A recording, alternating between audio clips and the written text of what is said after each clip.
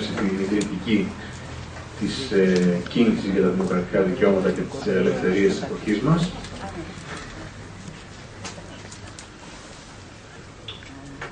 Θα αργήσαμε να ξεκινήσουμε, είναι γνωστή μικρή καθυστέρηση που υπάρχει σε αυτές τις συγκεντρώσεις. Θα παρουσιαστούν σύντομα από τον Κώστα τον Μάρκο που κάθεται δεξιά μου και τη Κρυσταλή Μπούρχα που κάθεται αριστερά μου το σχέδιο διακήρυξης, το οποίο έχουμε δώσει σε δημοσιότητα εδώ και μερικές μέρες στην ιστοσελίδα του, της πρωτοβουλία και το σχέδιο δράσης μαζί με τις αρχές λειτουργίας. Και ο σκοπός είναι να περάσουμε μετά σε μια διαδικασία συνέλευσης με σύντομες τοποθετήσεις, πεντάλεπτες, πάνω στα κείμενα αυτά, πάνω στη διακήρυξη και στο πρόγραμμα δράσης, το οποίο θα προτείνουμε προς τη συνέλευση, για να καταλήξουμε σε μια λογική ώρα για το πώς ε, προχωράμε στο, στο επόμενο διάστημα ως κίνηση πια και όχι ως πρωτοβουλία. Ποιες πρωτοβουλίες θα πάρουμε, ποιες ενέργειες θα είναι οι πρώτες που θα δώσουν το στίγμα της ε, κίνησης αυτής. Το λόγο λοιπόν έχει ο Κώστας ο Μάρκου. Ναι, θα υπάρχει, υπάρχει το εξής. Ήδη έχουν συγκεντρωθεί κάποιες υπογραφές μέσα από το διαδίκτυο. Κάποιοι από εσάς δεν έχετε υπογράψει και θέλετε να συμμετάσχετε στην ε, κίνηση. Θα υπάρξει ένα χαρτί μετά, θα αφήσετε να βρείτε ή εμένα ή την κρυσταλλή, να μας αφήσετε τα στοιχεία σας. Αυτό κυρίως γίνεται για να έχουμε μια σταθερή επικοινωνία, δηλαδή να υπάρχει μια, ε, ένας κατάλογος μελών που ενημερώνονται για τις ανακοινώσεις, για τις πρωτοβουλίες και παίρνουν μέρος στη λήψη των σε όλες τις διαδικασίες της κίνησης. Και το δεύτερο που θέλω να σας πω είναι ότι ε, υπάρχει ένα κουτί οικονομικής ενίσχυσης για τα έξοδα, τα βασικά έξοδα, φωτοτυπίες δηλαδή, πανό και ό,τι άλλο έχουμε ξοδέψει το προηγούμενο διάστημα και ό,τι θα χρειαστεί. Καλούμε λοιπόν, ανάλογα με τις ε, δυνατότητες του καθενός, να συνεισφέρει σε αυτή την οικονομική ε, ενίσχυση. Αυτά από μένα. Ναι, αγαπητοί συναγωνιστές και συναγωνίστρες, σύντροφοι και συντρόφισσες, σήμερα πραγματοποιούμε το πρώτο σοβαρό σημαντικό βήμα για την ίδρυση μιας κίνησης για τις εργατικές και λαϊκές ελευθερίες και τα δημοκρατικά δικαιώματα της εποχής μας, που πιστεύουμε ότι είναι ανάγκη και όριμο τέκνο μιας πρωτόγνωρης κατάστασης που τη ζούμε όλοι μας. Νομίζω πως θα συμφωνήσουμε επίσης όλοι μας ότι αυτή τη στιγμή ο νους και η καρδιά μας βρίσκεται ξανά στο πριζοπράσινο φύλλο την Κύπρο, ρηγμένη αυτή τη φορά στο πέλαγος της, ε, του νέου κοινωνικού πανευρωπαϊκού ατύλα με τη μορφή αυτού του σύγχρονου τραπεζικού σάιλοκ που οδηγεί όχι μόνο τον Κυπριακό λαό, αλλά και με άμεση επιπτώσεις στην Ελλάδα, αλλά και σε όλους τους λαούς της Ευρώπης, σε μια μεγάλη περιπέτεια σε όλες τις πλευρές της ε, ζωής του εισοδήματος, πιθανόν ακόμα και της ειρήνης για το παρτηρικό νησί. Και φυσικά πιστεύω ότι θα συμφωνήσουμε όλοι μας πως η πρώτη απόφασή μας θα πρέπει να είναι η συμμετοχή της κίνησης σε οποιαδήποτε μεγάλη λαϊκή κινητοποίηση αλληλεγγύης εκδηλωθεί τις επόμενες μέρες στην κατεύθυνση της ε, υπεράσπισης των θεμελιωδών κοινωνικών και δημοκρατικών δικαιωμάτων του κυπριακού λαού. Στη διακήρυξή μας, στο σχέδιο διακήρυξης που καλούμαστε σήμερα να εγκρίνουμε, το πρώτο πράγμα που σκεφτήκαμε να κάνουμε είναι κατά κάποιο τρόπο να ξαναβαφτίσουμε τις μεγάλες πυρκαγιές όπως λέμε στην εισαγωγή μας, δανειζόμενοι το στίχο του Μιχάλη Κατσαρού από το νεκρό δάσος, τις μεγάλες πυρκαγιές όπως είναι οι λέξεις ελευθερία και δημοκρατία. Και αυτό που υποστηρίζουμε είναι πως αυτές οι δύο λέξεις ενώ έχουν διαδοθεί τόσο πολύ, ίσως ποτέ άλλοτε στην ιστορία της ανθρωπότητας σε όλο τον πλανήτη, την ίδια στιγμή έχουν διαστρεβλωθεί τόσο πολύ επίσης και κυρίως έχουν διχαστεί πάρα πολύ. Είναι φανερό ότι υπάρχει, υπάρχουν όλες αυτές οι κραυγές για ελευθερία και δημοκρατία από την πλευρά των κυρίων τάξεων που στο μυαλό τους και στην γενικότερη κατεύθυνσή τους κυρίως έχουν την ε, υπονόμευση ως και την κατάργηση την, ε, των ελευθεριών και των δημοκρατικών δικαιωμάτων των εργαζομένων και των στην εποχή μας. Και επιχειρούμε να, α, να δείξουμε αυτήν, αυτόν τον διχασμό και να δώσουμε ένα θετικό, σύγχρονο λαϊκό περιεχόμενο ε, για την πάλη του λαού μας ε, γύρω από τις ελευθερίες και τα δημοκρατικά δικαιώματα. Η ελευθερία τους μοιάζει όσο ποτέ άλλοτε με τη σκλαβιά και είναι τόσο κοντά με την ανελευθερία, ώστε μάλιστα σε τέτοιο βαθμό στην κυρίαρχη ιδεολογία του ο νεοφιλελευθερισμός να την κόβει κομματάκια και να την καταργεί πνευματικά, στρέφοντας την ελευθερία του ενός ενάντια στην ελευθερία του άλλου. Και μάλιστα δεν διστάζουν να θυσιάζουν και να αντικρούν τις ελευθερίες, να τις θυσιάζουν ουσιαστικά στο βωμό του νέου ύψους του δόγματος της αγοράς, της λεγόμενης ασφάλειας και κυρίως ασφάλειας των επενδύσεων. Για μας όμως, για την κίνηση, για την προσπάθειά μας, για τον ε, ελληνικό λαό, αλλά και για όλους τους λαούς του κόσμου, η λέξη ελευθερία ηχεί πολύ διαφορετικά, γιατί για μας σημαίνει πρώτα απ' όλα απελευθέρωση από την ανεργία, από τη φτώχεια, από την εκμετάλλευση, την καταπίεση, από τις μαζικές αρρώστιες, από το σύγχρονο αλφαβητισμό, από τις προκαταλήψεις, τον ρατσισμό και τον σκοταρισμό. Ελευθερία σημαίνει δουλειά, ψωμί, παιδεία, καθαρό περιβάλλον και πόλεις, ελεύθερη ενημέρωση και κυκλοφορία των ιδεών. Αλλά πάνω απ' όλα ελευθερία για όλους εμάς σημαίνει ελεύθερος χρόνος για ανάπαυση πολιτισμού, αθλητισμό, γνώση, δημιουργία και έρωτα. Και την ίδια στιγμή όλοι καταλαβαίνουμε πόσο βαθιά διχάζεται και συγκρούεται η λέξη και η έννοια ελευθερία για τους κυρίαρχους, για τους από πάνω και για τους από κάτω. Φυσικά, συντρόφοι και σύντροφοι, ειδικά από το εργατικό και λαϊκό κίνημα στη χώρα μας, αλλά και όχι μόνο, έχει μνήμη, έχει γνώση, γνωρίζει από πρώτο χέρι τη διαφορά ανάμεσα στη δημοκρατία και στη δικτατορία. Και δεν μπορεί κανένας να υποτιμά, υποτιμά αυτή τη διαφορά. Πολύ περισσότερο εμείς. Όμως, αλήθεια, συντρόφοι και σύντροφοι, ας σκεφτούμε πόσο μοιάζει η δημοκρατία τους με τη δικτατορία τους και κυρίως πόσο η σημερινή, ειδικά μεγάλη παγκόσμια οικονομική κρίση φέρνει αυτές τις δύο έννοιες πιο κοντά. Αλλά και πόσο διαφορετικά και διαφορετικό, διαφορετικά έχει, πόσο διαφορετικό περιεχόμενο αποκτά η λέξη δημοκρατία για τους εργαζόμενους και τους λαούς, για την κοινωνική πλειοψηφία για όλους εμάς.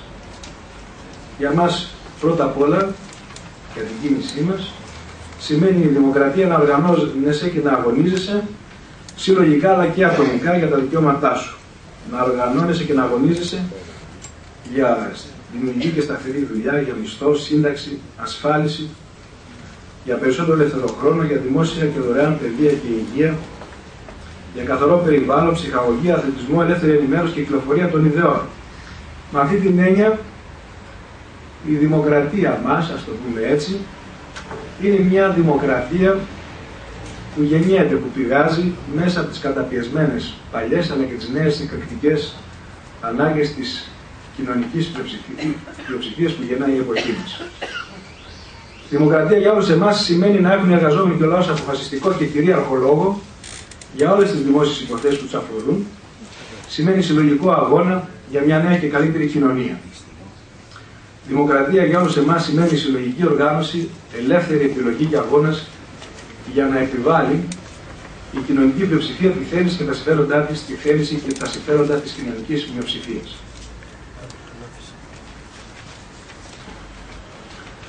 Πέρα όμως, σύντροφοι από όλα αυτά, όλοι καταλαβαίνουμε ότι ειδικά στη χώρα μας, στην ιστορική περίοδο που άνοιξε το πρώτο μνημόνιο, ζούμε μια πρωτοφανή επίθεση λαϊκές ελευθερίες και τα δημοκρατικά δικαιώματα ουσιαστικά έχουμε μπει σε μια ποιοτικά νέα κατάσταση που όλοι προσπαθούμε να την κατανοήσουμε βαθύτερα για να την σταματήσουμε και να την ανατρέψουμε.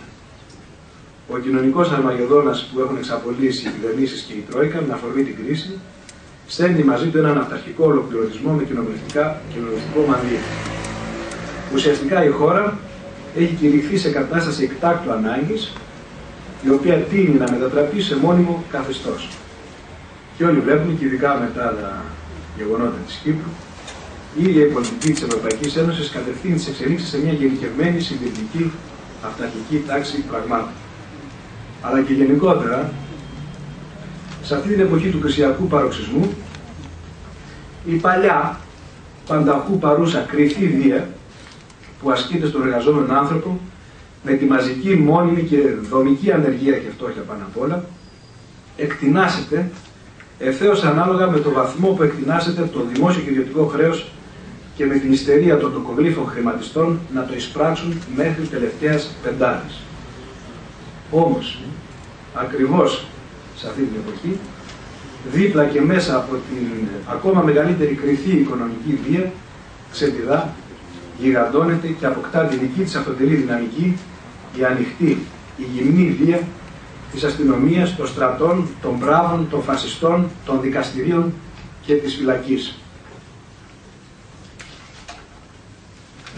Όμως η εποχή μας δεν έχει μόνο τη σκοτεινή πλευρά της, γεννάει νέες εργατικές και λαϊκές ανάγκες, αλλά και δυνατότητες για ελευθερία και δημοκρατία, που τις εκφράζουν μεγάλα κινήματα, πρωτοφανείς αντιστάσεις και νέες διεκδικήσεις που φέρουν στο προσκήνιο την αναγκαιότητα για περισσότερες λαϊκές και ουσιαστικές ελευθερίες για ανατροπή του νέου αυταρχισμού. Με πολλούς και διαφορετικούς τρόπους στην Ευρώπη, στη Βόρεια Αφρική και βέβαια στη χώρα μας, οι νεολαίοι και εργαζόμενοι, παρά τις επιμέρους εσωτερικές αντιθέσεις και διαφορές τους, αναζητούν μια άλλη δημοκρατία με τους εργαζόμενους και το λαό πρωταγωνιστές των εξελίξεων. Αυτοί οι αγώνες των λαών εκπροσωπούν την ελπίδα απέναντι στην απελπισία, στην κατάθλιψη, στην παρακμή που σκορπούν οι κυρίαρχοι.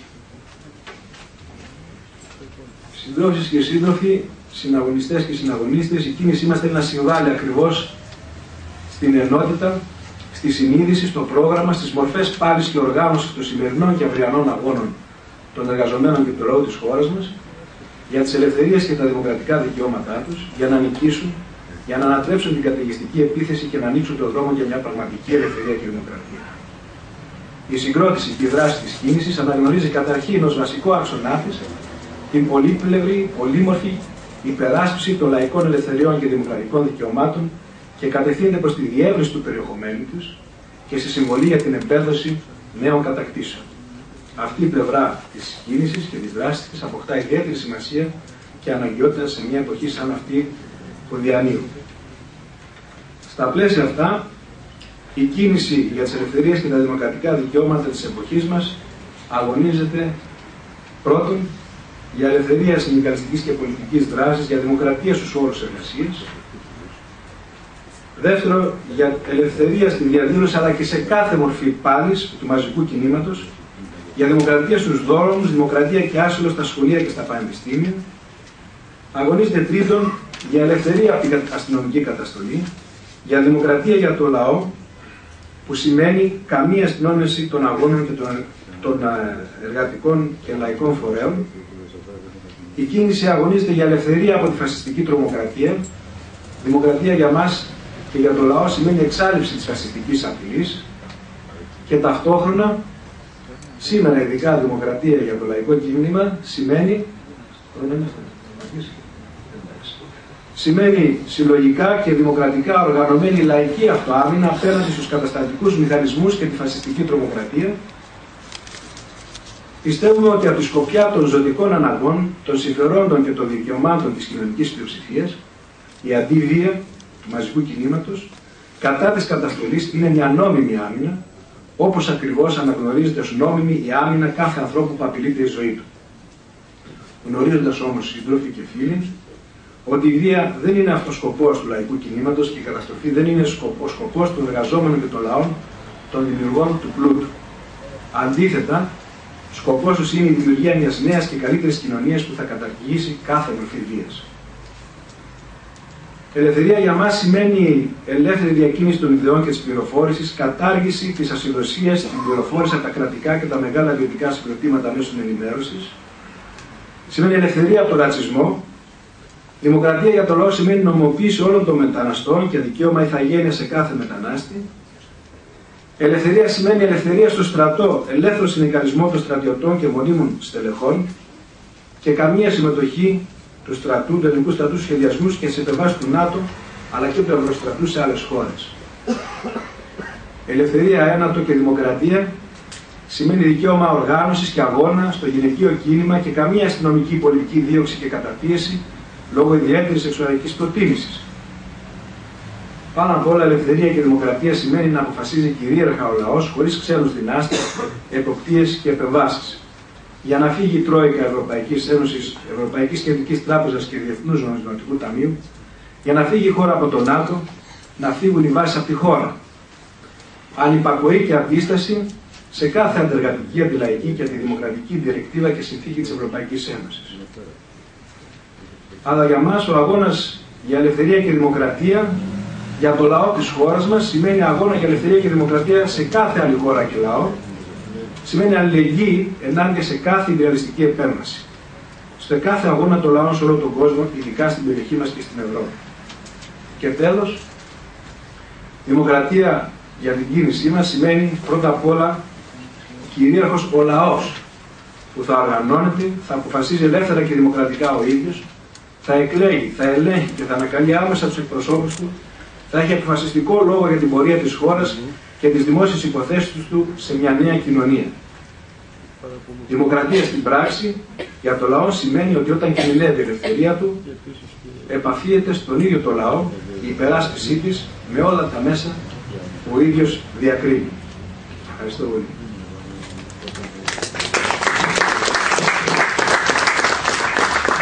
Ευχαριστούμε τον Κώστα Μάρκο. Το λόγο τώρα έχει η Κρυσταλλή Μπούρχα για να παρουσιάσει τις μορφές δράσης και τις αρχές λειτουργίας μαζί και με το πρόγραμμα δράσης που προτείνουμε στη Ένωση.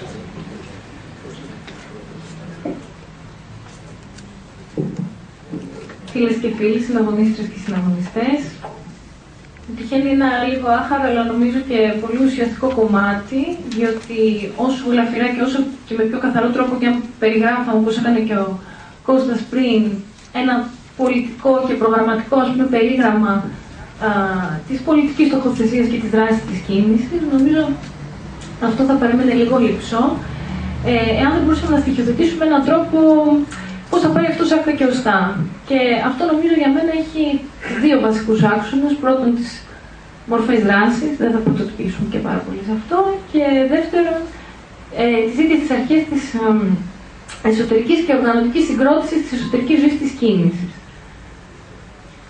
Ω προς το πρώτο κομμάτι, θα θέλαμε να επισημάνουμε ότι καταρχήν κάνουμε μια χαρτογράφηση, δεν έχει ούτε οριστικό ούτε φυσικά και νομοτελειακό χαρακτήρα, ε, όλων των δυνατών και κατά την γνώμη μας πιο αποτελεσματικών ε, μορφών που θα μπορούσε να έχει μια κίνηση, η οποία ούτως ή άλλως και από τη στιγμή της συγκρότησής της έχει πολλά στοιχεία πρωτοτυπίας. Ε, Στρατευμένε οι μορφέ αυτές δράση, βέβαια, στα σημεία που εμείς θα, θα, μπορούσαμε και από αυτή τη συνέλευση να, να κεντράρουμε ως πιο κομβικά. Θα ξεκινήσω λέγοντας ότι καταρχήν για μας αποτελεί ε, ουσιώδη στοιχείο της συγκρότησης αλλά και της παρέμβασής μας η άμεση σύνδεση της ε, κίνησής μας και η αλληλεπίδρασή της σε κάθε πτυχή της δράσης της ε, με το ίδιο το μαζικό λαϊκό εργατικό κίνημα τις, ε, τους φορείς του και τους ε, οργανωμένες δυνάμεις του. Με αυτή την έννοια η κίνηση επιδιώκει να συνδέσει δημιουργικά με τα αγωνιζόμενα συνδικάτα, να παίρνει πρωτοβουλίες και να αναπτύσσει διάφορου τύπου δράσεις, να οργανώνει εκδηλώσεις, να παρέχει υποστήριξη σε ζητήματα προβολής των αγώνων και των προβλημάτων των εργαζομένων σε κάθε χώρο εργασίας. Ε, στα πλαίσια αυτά, ε, φυσικά, να αξιοποιεί νομική υποστήριξη, την κοινωνική υποστήριξη μέσα από δίκτυα και προσωπικότητες του πνευματικού κόσμου, αλλά να προσανατολίζεται και σε πρωτοβουλίες έμπρακτη στην ουσία αλληλεγγύης τη σύνδεση κοινοτοποίηση των εργαζομένων.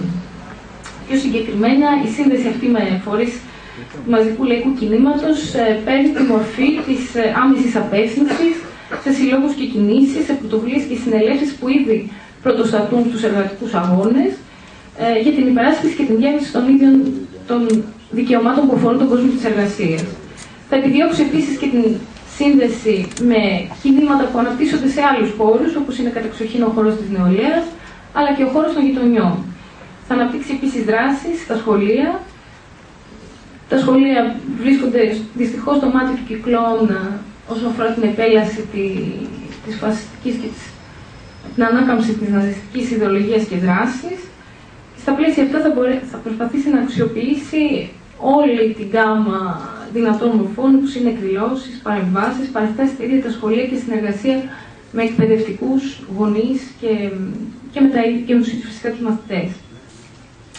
Ένας δεύτερος άξονας ε, δεν θα μπορούσε να είναι επίσης και η συνεργασία, ισότιμη συνεργασία και απεύθυνση της κίνησης ε, με ύφος και δράση με τοπική, με δυνάμεις που άλλες οργανωμένες δυνάμεις, ε, συσπυρώσεις, δίκτυα μέτωπα, κινήσεις που ήδη ε, έχουν συγκροτηθεί. Χαρακτηριστικό παράδειγμα ε, είναι ο, οι αγώνες που ε, εκτελήσονται στην Κερατέα, στις Πουριές που ανέδειξαν με ένα δικό τους πρωτότυπο τρόπο για την Ελλάδα, μορφές συντονισμού διαφόρων ε, πολιτικών και κοινωνικών δυνάμεων σε μια πιο μόνιμη βάση. Άρα σε αυτή την κατεύθυνση εμείς θέλουμε να συμβάλλουμε, αλλά και να, συμμετέ... να συμμετέχουμε και να αναδείξουμε την αναγκαιότητά τους.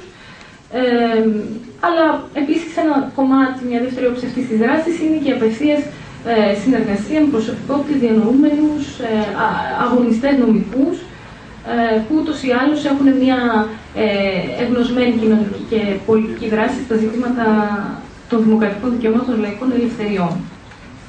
Ένα τρίτο βασικό σημείο θα ήταν για μας η δημιουργία στην πράξη ενός μηχανισμού νομικής υποστήριξης και εδώ θα πρέπει να γίνουμε σαφείς. Ε, αυτό δεν θα πρέπει σε καμία περίπτωση να κινείται στην κατεύθυνση μιας στενής επαγγελματικής νομικής υπεράσπισης στην ουσία διοκόμενων αγωνιστών, απλών πολιτών που στην ουσία α, διώκονται από τους μηχανισμούς της καταστολής είτε ε, για την απλή συμμετοχή τους σε μια πορεία, είτε ακόμη παραπέρα για τη συνδικαλιστική και πολιτική τους δράση. Τα συμβάντα είναι ε, με μορφή χιονοστιβάδας πολλαπλασιάζονται και αναβαθμίζονται και ποιοτικά.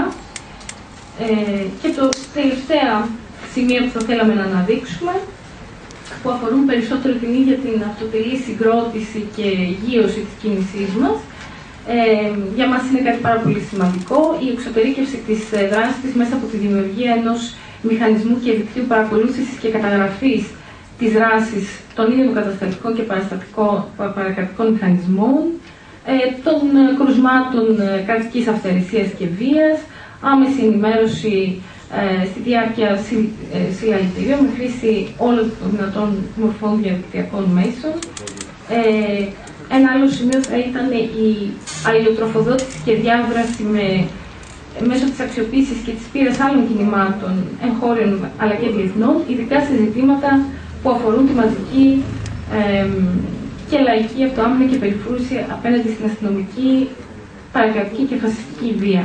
Θα ήθελα να τελειώσω το κομμάτι αυτό, ε, επισημένοντας ότι πέρα από όλα αυτά η κίνηση θα επιδιώξει σε κάθε επίπεδο και την ε, δική της ε, αυτοτελή συγκρότηση, διεύρυνση, αλλά και πολιτική και ιδεολογική ευάθυνση στα ζητήματα τα οποία ε, η ίδια θα αναδεικνύει κάθε στιγμή. Προς αυτή την κατεύθυνση θα ήθελα να το αναφέρω τώρα. Ε, έχουμε σκεφτεί ήδη τη συγκρότηση κάποιων ομάδων εργασίας ε, οι οποίες θα μπορούσαν να βοηθήσουν προς αυτή την κατεύθυνση, αναδεικνύοντας ως βασικά ε, ζητήματα, μεταξύ άλλων, το ζήτημα της καταστολής και της δράσης των κατασταλτικών μηχανισμών, ε, το πολιτιακό, θα το πω εντός εισαγωγικό ζήτημα, με την έννοια ότι αυτή τη στιγμή υπάρχει μια πολιτιακή αλλίωση, μια εκτροπή ε, σε επίπεδο κοινοβουλευτικής ε, δημοκρατίας, το ζήτημα φυσικά του φασισμού και του ρατσισμού και αυτό προφανώς είναι ανοιχτό προς συζήτηση και προς, και προς σκέψη. Ένα δεύτερο κομμάτι, βασικό για εμάς, είναι το πώς θα λειτουργεί και πώς θα δομείται πώς θα συγκροτείτε, πώς θα δομείτε μάλλον και πώς θα λειτουργεί η ίδια η κίνηση. Ε, κατόπιν σκέψεως, ε, θεωρούμε καταρχήν για μας αρχιακό είναι τρία βασικά πράγματα. Ε, δομούμαστε με βάση την ισότιμη προσωπική συμμετοχή αλλά και δέσμευση ε, των μελών, με βάση τις αρχές της αμεσοδημοκρατίας και στη συζήτηση αλλά και στη λήψη των αποφάσεων στην αποφασιστική μας ε, λειτουργία ε, και φυσικά με μια φυσιογνωμία και μια ε, δράση μετοπική, κάτι που ούτως ή άλλως μέχρι στιγμής φαίνεται και από την ίδια τη σύνθεση ε, των πολιτικών δυνάμεων, οργανωμένων που στηρίζουν ε, την κίνησή μας. Ε, όσο αφορά το πιο πρακτικό κομμάτι αυτών των ε, δομών, εγώ θα κάνω μια αναφορά τώρα, αλλά στο τέλος και με την ολοκλήρωση της συζήτησης και της διαδικασίας της σημερινής ε, θα μπορούμε να το συζητήσουμε και πιο συγκεκριμένα. Ε, θα μπορούμε να ορίσουμε ένα συντονιστικό όργανο, ένα όργανο ε, συντονισμού, μια συντονιστική επιτροπή, ε, η οποία για εμάς πρέπει να πληρεί καταρχήν το χαρακτηριστικό της όσο το δυνατόν πιο αντιπροσωπευτικής ε, συμμετοχής των πολιτικών τάσεων, ρευμάτων, αντιλήψεων, ε, με προεξέχουσα την ε, συμμετοχή προσωπικότητων ε, και αγωνιστών που έχουν δώσει τις δικές τους μάχες στα, από τους χώρους στους οποίους βρίσκονται, είτε είναι η εργασιακή χώρη, το συνδικαλιστικό κίνημα, ο χώρος των νομικών, της νεολαίας κτλ. στις μάχες για τα δημοκρατικά δικαιώματα. Ε, και δεύτερον, από μόνος θα έχει μια όσο το δυνατόν πιο ένα πλατή ε, αριθμό ανθρώπων, έτσι ώστε ε, να μπορεί να αγκαλιάζει όλο αυτό το, το έδρος που περιέγραψα ε, πριν. Θα μπορούσαμε να πούμε, αλλά φυσικά αυτό είναι, θα ακολουθήσει και η συζήτηση, ότι μπορούσαμε να ξεκινήσουμε από ένα αριθμό 21 ατόμων, σε μια κατεύθυνση διεύρυνσή του φυσικά, ε, έτσι ώστε να υπάρχει ένα ευέλικτο, αλλά και ταυτόχρονα ένα όνομα που θα μπορεί να, παράγει, να, να συνδιαλέγεται ουσιαστικά και να παράγει ε, μία μάχημη ας πούμε, γραμμή για τη δράση και την παρέμβαση της κίνησης. Ε, δεν θέλω να με ακρηγορήσω με πιο οργανωτική στις λεπτομέρειες, αυτές άλλωστε εναπόκειται και στις δικές σας ε, ιδέες και αυτή είναι και για μας ε, ε είναι το καθοριστικό σημείο. Ε, θα ήθελα να τελειώσαμε κάποιες προτάσεις που έχουμε σκεφτεί σχετικά με τα άμεσα τακτικά βήματα που θα πρέπει να πάρουμε από εδώ, από εδώ και πέρα. Ε, καταρχήν θεωρούμε απαραίτητο, έτσι όπως το έβαλε και ο Κώστας, το βάρος, στην ουσία το, κινηματικό αλλά και το πολιτικό βάρος που θα πρέπει να σηκώνει αυτή η κίνηση να κεντράει κυρίαρχα στο χτύπημα στην εργασία, στο χτύπημα στα εργασιακά δικαιώματα, στις ελευθερίες στον χώρο της εργασίας, στο πώς αυτό όχι πάνε να τα αναδιαπραγματευτούμε με ένα σκληρό και αυταρχικό τρόπο, αλλά στην ουσία να τα αναιρέσουν και να μας γυρίσουν αιώνες πίσω. Με την έννοια αυτή, θεωρούμε ότι από αυτή τη συνέλευση θα πρέπει να βγούμε ε, με έναν προγραμματισμό να συγκληθεί, να οργανωθεί όσο το δυνατόν πιο άμεσα μία εκδήλωση ε, για, το, για τις συνδικαλιστικές και εργατικές ελευθερίες και για τη, τη νέα κατάσταση, το νέο τοπίο που διαμορφώνεται στο ε, εργατικό δίκαιο.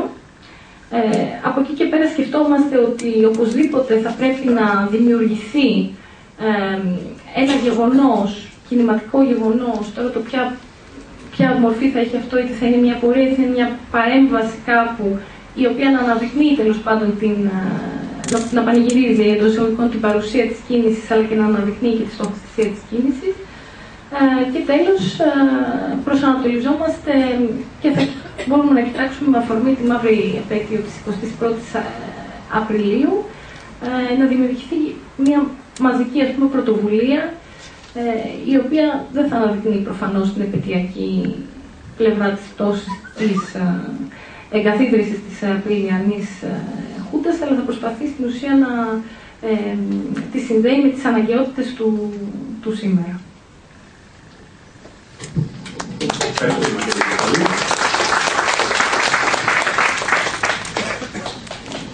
Λοιπόν, σχετικά δεν είπαμε πάρα πολλά, 25 λεπτά ήταν οι εισηγήσεις και οι δύο.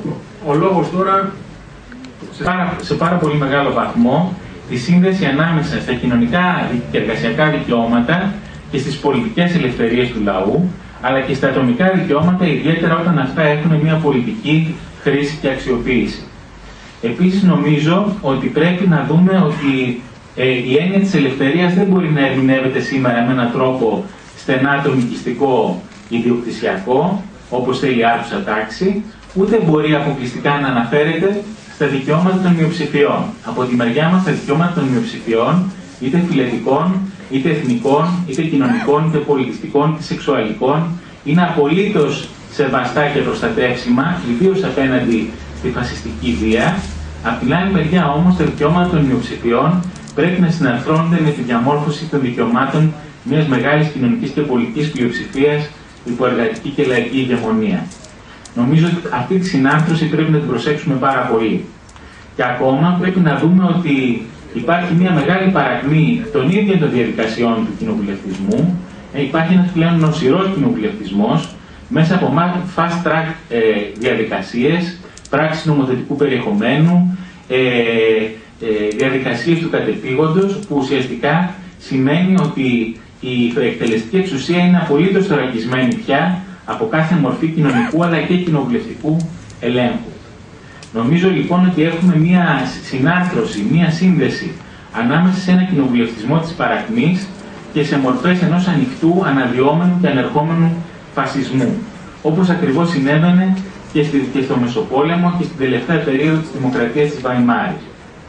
Απέναντι σε αυτή την κατάσταση, νομίζω ότι είναι πολύ καθαρό ότι η απάντηση δεν μπορεί να είναι μόνο μια απάντηση νομική ή θεσμική ή σε επίπεδο θεσμικών μεταρρυθμίσεων.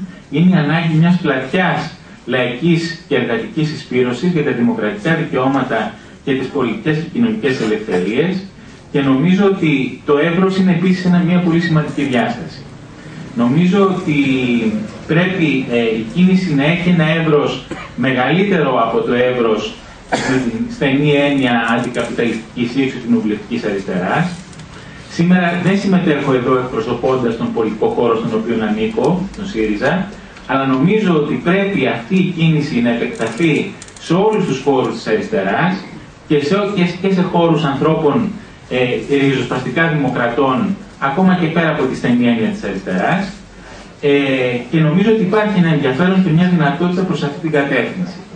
Επίσης νομίζω ότι οι κινηματικές και λαϊκές δυνατότητες που εμφανίζονται στην περιοχή μας, ε, με αυτά που συμβαίνουν στην Κύπρο, με αυτά που συνέβησαν στην Βουλγαρία με την ανατροπή της κυβέρνησης Μπορίσο, με αυτά που συνέβησαν και εκφράστηκαν στις τελευταίες εκλογές, με αυτά που συμβαίνουν κινηματικά στην Ισπανία και στην Πορτογαλία, δείχνουν ότι υπάρχει μια δυνατότητα αντεπίθεσης και ανασύνθεσης των εργατικών και λαϊκών δυνάμεων και μια δυνατότητα στα πλαίσια των εργατικών και λαϊκών δυνάμεων ενός ιδιαίτερου ενδιαφέροντος και μιας ιδιαίτερης περιοχής πάλι για τα πολιτικά, κοινωνικά και ατομικά δικαιώματα.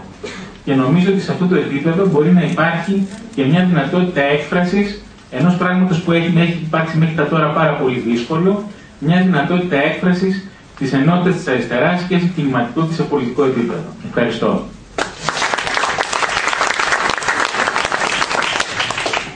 Να θυμίσω ότι. Μια παράκληση, ναι, ναι. μια παράκληση.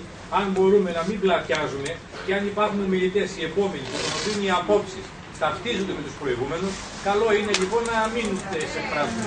Επικροτώ την άποψη του συντρόφου γιατί έχουμε πάρα πολλούς. Λοιπόν, επειδή έχουμε πάρα πολλούς ήδη ομιλητές, ο κατάλογος κλείνει εδώ. Παράκληση αν υπάρχουν σύντροφοι ή συντρόφισε που, που θέλουν να παραιτηθούν να το δηλώσουν. Να είναι πιο σύντομες οι ομιλίες, γιατί έχουμε και ένα πρόβλημα όχι με το προσωπικό μας χρόνο, αλλά με τον χρόνο της αίθουσας. Ε, επόμενος ομιλητής είναι ο Σεΐντ Αλτογάν και να ετοιμάζεται η αρετή αγραφή.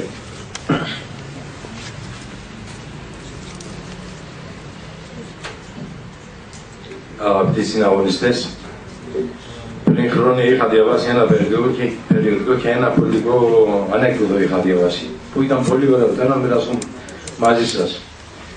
Ο πρόεδρος της Κένιας, Ήδη Αμήν, όταν είχε κάνει χούντα, είχε κάνει πραξικόπημα, είχε βγάλει ένα σύνταγμα με δύο άρθρο. Πρώτο άρθρο του Ήδη Αμήν ήταν: Ο Ήδη Αμήν πάντα έχει δίκιο. Δεύτερο άρθρο είναι όταν δεν έχει δίκιο, ισχύει πρώτο άρθρο. λοιπόν, στην Ελλάδα ζούμε ακριβώς αυτή την εποχή όντως.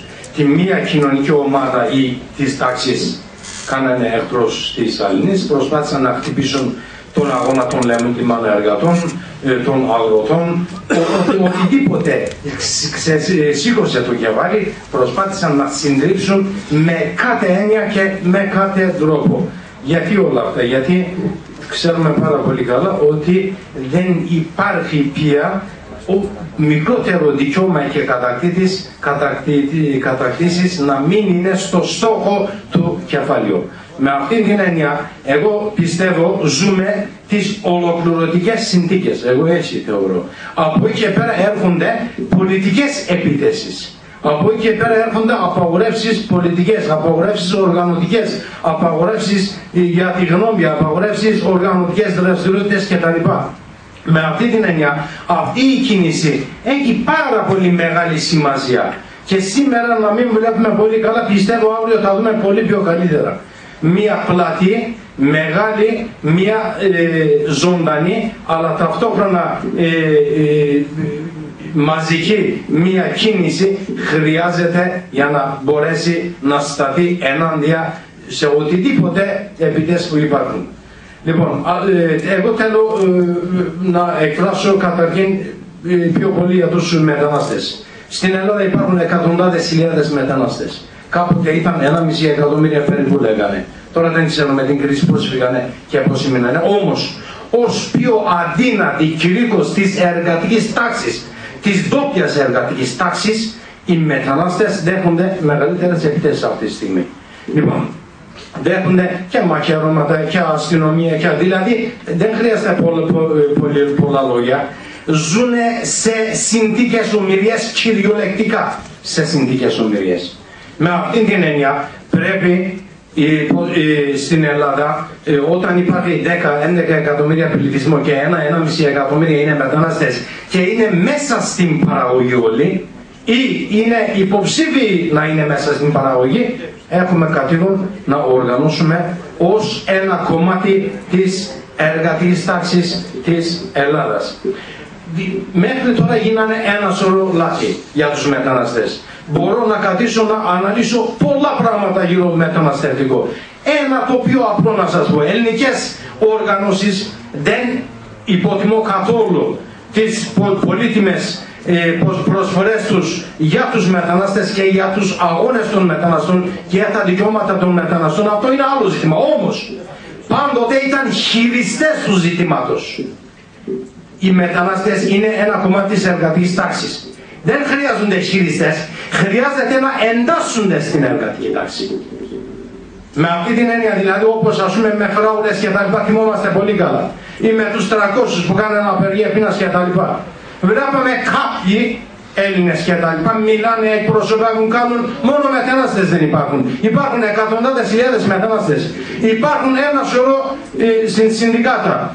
Υπάρχουν συνδικάτα, ταξικά συνδικάτα που αγωνίζονται καθημερινά, που είναι σήμερα σε αυτή την αίθουσα. Πόσοι έχουν μια, ένα, πώς λένε, συμβούλιο μεταναστών, έτσι. Πόσοι όντως δηλαδή συμβουλεύουν ή οτιδήποτε ε, πώς το λένε, βήμα που τα κάνουν στους μετανάστες κτλ. Με αυτή την έννοια το ζήτημα που είναι ζήτημα είναι οι μετανάστες πρέπει να οργανωθούν. Και οι μετανάστες χρειάζονται, εγώ πιστεύω, αυτή την κίνηση περισσότερο, αλλά να πάρουν μέρος μέσα σε αυτή την κίνηση και έτσι να, ε, πώς το λένε, να ε, μπορέσουμε ως μετανάστες να αγωνιστούμε μαζί με τους Έλληνες εργάτες και εργαζόμενους. Δεχόμαστε επιθέσεις καθημερινά. Καθημερινά δηλαδή εκατοντάδες επιθέσεις μέσα σε ένα-δύο μήνες.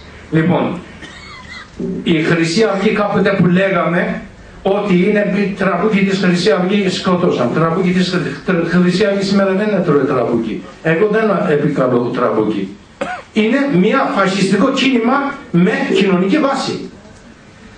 Με αυτή την έννοια σήμερα, οι οργανωτικές δραστηριότητες που πρέπει να υπάρχουν με οτιδήποτε τρόπο, τρόπο ενάντια το κεφάλαιο, ενάντια φασιστικά κινήματα, ενάντια απειλές, ενάντια στους εργάτες και εργαζομένους, πρέπει να έχουν οστά και σαρκά.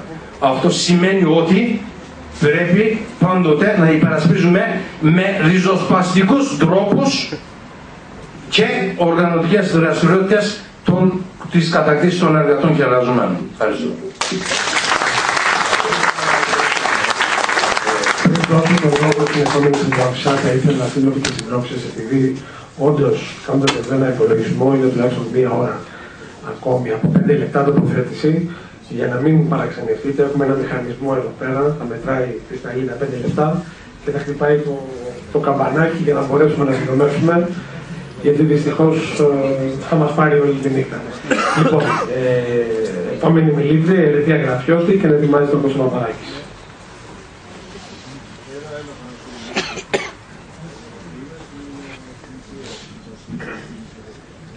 Γεια σας σύντροφοι και συντρόφισσες. Ε, διαβάζοντας τους στόχους και την πρόταση για δράσεις της, ε, στην ιδρυτική διακήρυξη της κίνησης, πραγματικά αναρωτήθηκα σε τι διαφέρουν αυτοί οι στόχοι με τους στόχους και τις δράσεις της αριστεράς. Είτε είναι κοινοβουλευτική, είτε είναι εξωκοινοβουλευτική. Είτε είναι διάφορες πρωτοβουλίες, οι συνελεύσεις γειτονιάς, δηλαδή και βλέπω ανάμεσά μας ανθρώπους, όπως βλέπετε κι εσείς, που δραστηριοποιούμαστε ποικιλοτρόπους. Άρα είναι μια, δια, είναι μια πολυδιάσπαση δηλαδή, που προτείνεται με αυτή την κίνηση. Ε, ένα αυτό το ερωτηματικό μου. Δηλαδή, αντέχει μας χάρη μας και άλλα καρπούζια ή πρέπει να γίνει ένα άνοιγμα πολύ μεγαλύτερο. Και θα ήθελα να θέσω έναν άλλο προβληματισμό. Οι άνθρωποι που πήραν την πρωτοβουλία ε, χρησιμοποιούν τη λέξη δημοκρατία. Η δημοκρατία είναι μια πολύ ταλέπορη λέξη. Έχει γίνει λάστιχο από όλες τις ιδεολογίες. Έχουν σκεφτεί να χρησιμοποιηθεί η λέξη άμεση δημοκρατία. Έχουν δει τις διαφορές. Σε ποιον κόσμο στοχεύουμε. Πού βρίσκεται η νεολαία. Μήπως έχει συγχαθεί τα κόμματα και μας αμφισβητεί όλους της αριστεράς. Επίσης, ένα δείγμα α, της δημοκρατίας είναι και τα όργανα. Όταν μέσα στα όργανα προβλέπεται ή προτείνεται ένα συντονιστικό συμβούλιο 25 με 31 μέλη. Μια γραμματεία με 9 μέλη. Η πείρα μου λέει ότι ο μονός αριθμός οδηγεί σε πλειοψηφικές ε, διαδικασίες. Ο ζυγός αριθμός είναι αυτός που οδηγεί σε συνενέσεις και συνδιαμορφώσεις. Αυτά.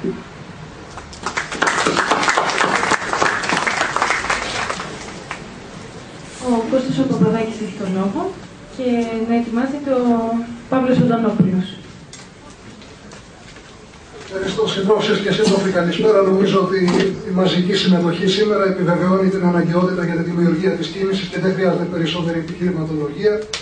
Παρά μόνο να συγχαρώ αυτούς που είχαν την πρωτοβουλία και έκαναν τον κόπο για να φτάσουμε μέχρι εδώ και όσους βρίσκονται εδώ πέρα και ανάμεσα σε αυτούς με μεγάλη χαρά βλέπω και πάρα πολλούς δικηγόρους και νέους που είναι πολύτιμη η συμμετοχή τους. Όσον αφορά τα κείμενα τα οποία συζητάμε, ας μου επιτραπεί μια μικρή αναφορά σε κάποια ζητήματα επιμέρους διαφωνιών ξεκινώντας από τα γενικά πολιτικά, σημείο πρώτο, εκεί που αναφέρεται για ο φιλελευθερισμός, κυρίαρχη ιδεολογία, είναι ψευδές. Δεν υπάρχει καμία αναμέτρηση ιδεολογιών, αλλά μια απεγνωσμένη καπιταλιστική διαχείριση που μάλλον χαρακτηρίζεται από κινησιανισμό και αλληλεγγύη στις τράπεζες, οι οποίες διαρκώς αναχρηματοδοτούνται και ανακεφαλαιοποιούνται, παρά από ανταγωνισμό και νεοφιλελευθερισμό. Και χρησιμοποιώντας τον όρο αυτό, χαρίζουμε μια ιδεολογική υπεροχή στο σύστημα την οποία δεν έχει. Ζήτημα δεύτερο γίνεται λόγος στο σημείο 10 για τους ξένους δυνάστες με τη φράση να αποφασίζει κυρίαρχα ο λαός χωρίς ξένους δυνάστες. Είναι ατυχής διατύπωση ακόμα και για όσους έχουν μια αντεπεντίστικη λογική εν πάση περιπτώσει όσον αφορά τα πράγματα και πρέπει να φύγει. Ζήτημα τρίτο, ε, στα πολιτικά, στο χρέος, ότι θέλουν οι δανειστές να το εισπράξουν μέχρι τελευταίας δεκάρα. Μακάρι να θέλανε μόνο αυτό, θέλουν τη διεύρυνση και την αναπαραγωγή του και την αύξησή του με συνεχή αύξηση των επιτοχίων spreads, CDS κτλ. Και η απόδειξή είναι ότι το χρέος αυξάνεται παρά τα συνεχή κουρέματα. Συνεπώς και αυτή η διατύπωση πρέπει να αλλάξει.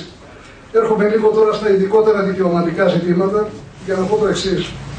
Το κείμενο δεν αναδεικνύει το ρόλο της δικαστικής εξουσίας, την ονομάζει δυστυχώς με τη λέξη δικαιοσύνη, χαρίζοντά της μια ηθική και ιδεαλιστική έννοια και αν αυτό δεν είναι απλώς λάθος διατύπωση, αλλά είναι διαφορετική άποψη, φοβάμαι ότι πέφτουμε στο ίδιο σφάλμα με τη ρεφορμιστική αριστερά, η οποία αντιλαμβάνεται χρόνια ολόκληρα τη δικαιοσύνη σαν κάτι ουδέτερο, το οποίο επηρεάζεται από την κακή εκτελεστική εξουσία και όταν αυτό συμβαίνει τότε βγάζει καταχρηστικές και παράνομες τις απεργίες. Λάθος πολύ μεγάλο.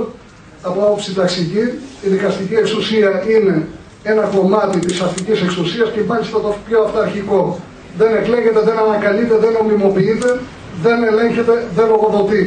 Βγάζει τις απεργίες παράνομες και καταχρηστικές, όχι διότι πιέζει η εκτελεστική εξουσία, αλλά διότι αυτός είναι ο ρόλος της, είναι να εφαρμόζει τους νόμους. Και σύντροφοι, εμείς δεν πάμε να ταράξουμε κανέναν στην νομιμότητα, για να το κάνουμε αυτό θα πρέπει να έχουμε την εξουσία να ψηφίσουμε, να εφαρμόσουμε, να ερμηνεύουμε και να εκτελούμε τους νόμους. Εμείς πάμε να ταράξουμε την νομιμότητα γιατί είναι το εργαλείο για την άσκηση της αστικής εξουσίας. Δεν έχουμε θεσμικές αυταπάτες και δεν έχουμε τις αυταπάτες ότι οι νόμοι είναι κάτι το οποίο είναι επίσης ουδέτερο και μπορεί να χρησιμοποιηθεί με οποιοδήποτε τρόπο. Είμαστε κίνημα ανατροπής των νόμων οι οποίοι περιορίζουν τις λαϊκές ελευθερίες και τα δικαιώματα και προστασία των νόμων που τις θεσπίζουν και τις διευρύνουν. Και δεν ξεχνάμε ποτέ αυτό που έλεγε ο Μάρξ στη 18η περιμέρα του Λουδοβίκου Βοναπάρτου ότι κάθε αστική ελευθερία περιέχει μία άνω και κάτω βουλή. Η άνω βουλή θεσπίζει την ελευθερία και η κάτω βουλή την αναιρεί. Συνεπώς οι διατυπώσεις όπως θέλουν να ελέγχουν τη δικαιοσύνη ή ο μηχανισμός απονομής δικαιοσύνης πρέπει να φύγουν και η λέξη δικαιοσύνη να αντικατασταθεί οπουδήποτε με τη λέξη δικαστική εξουσία και δεν τίθεται κανένα μα κανένα θέμα ελέγχου. Χρόνος δεν επιτρέπει περισσότερο. Επίσης, στο θέμα τρομοκρατίας και τρομοϊστερίας υπάρχει μια διατύπωση ότι ο 20ος αιώνας, ο 21ος αιώνας μπήκε λέει με την απειλή της τρομοκρατίας, καθιέρωσε την απειλή της τρομοκρατίας. Και αυτή η διατύπωση δίνει την εντύπωση ότι εννοούμε τρομοκρατία, τις ένοπλες οργανώσεις και αυτά τα πράγματα έχουμε δώσει μάχες για αυτό το πράγμα. Το κράτος είναι ο μόνος τρομοκράτης. Εάν λοιπόν εννοεί κάτι άλλο αυτός που έχει διατυπώσει αυτή τη σύνταξη, αντί για τη λέξη τρομοκρατία οφείλει να γράψει τη λέξη τρομοϊστερία, την οποία πράγματι τη ζήσαμε, τη βιώσαμε και την υποστήκαμε. Ακόμη, μου κάνει εντύπωση στην αναφορά για το στρατό και μάλιστα μίλησε και κάποιος φαντάρος εδώ πέρα ότι δεν γίνεται αναφορά στους αντιρρησίες συνείδησης, ανεξάρτητα από το αν κανένας έχει πολιτική γραμμή υπέρ ή κατά των αντιρρησιών, παλιά συζήτηση και μεγάλη, αλλά σε μια εποχή που είναι και επίκαιρο το ζήτημα των δικαιωμάτων τους, δεν μπορεί να λείπει ένας άξονας υπεράσπιση τους. Όπως δεν μπορεί να λείπει οποιαδήποτε αναφορά για τον κουκουλονόμο, τη στιγμή που σωστά τα είπε και ο Παντελής που τον πριν, ετοιμάζεται νομοσχέδιο με βάση το οποίο θα συλλαμβάνονται ακόμη και αυτοί που φοράνε που φάνε με κουκούλα χωρίς να βιοπραγούνται και πηγαίνουν σε μια διαδήλωση. Όπως επίσης πρέπει να γίνει αναφορά εκεί που γίνεται ο λόγος για την αστυνομική τρομοκρατία, όχι μόνο για τους απεργούς και τους εργάτες, αλλά και για την νεολαία και τους μετανάστες, να γίνει αναφορά στα βασανιστήρια, στις προσαγωγές γενικά, όχι μόνο τις προληπτικές προσαγωγές, σε όλες τις προσαγωγές και τις πολύ ωραίες κρατήσεις, οι οποίες είναι αντισταγματικές, στη διαπόμπευση, στην καταπάτηση του τεκμηρίου αθωότητας με την αποστολή φωτογραφιών στα μέσα ενημέρωσης, την καταπάτηση των προσωπικών δεδομένων, το ηλεκτρονικό φακέλωμα και τις κάμερες. Επίσης, στη, στο πολύ ωραίο κείμενο δύο υπότιτλοι πριν από την αναφορά για την ελευθερία και τη δημοκρατία που νομίζω δίνουν ένα στίγμα, ελευθερία για ποιον και δημοκρατία για ποιον αντίστοιχα. Τέλος για το κείμενο το οποίο αφορά τις μορφές δράσης και λειτουργίας δύο παρατηρήσεις.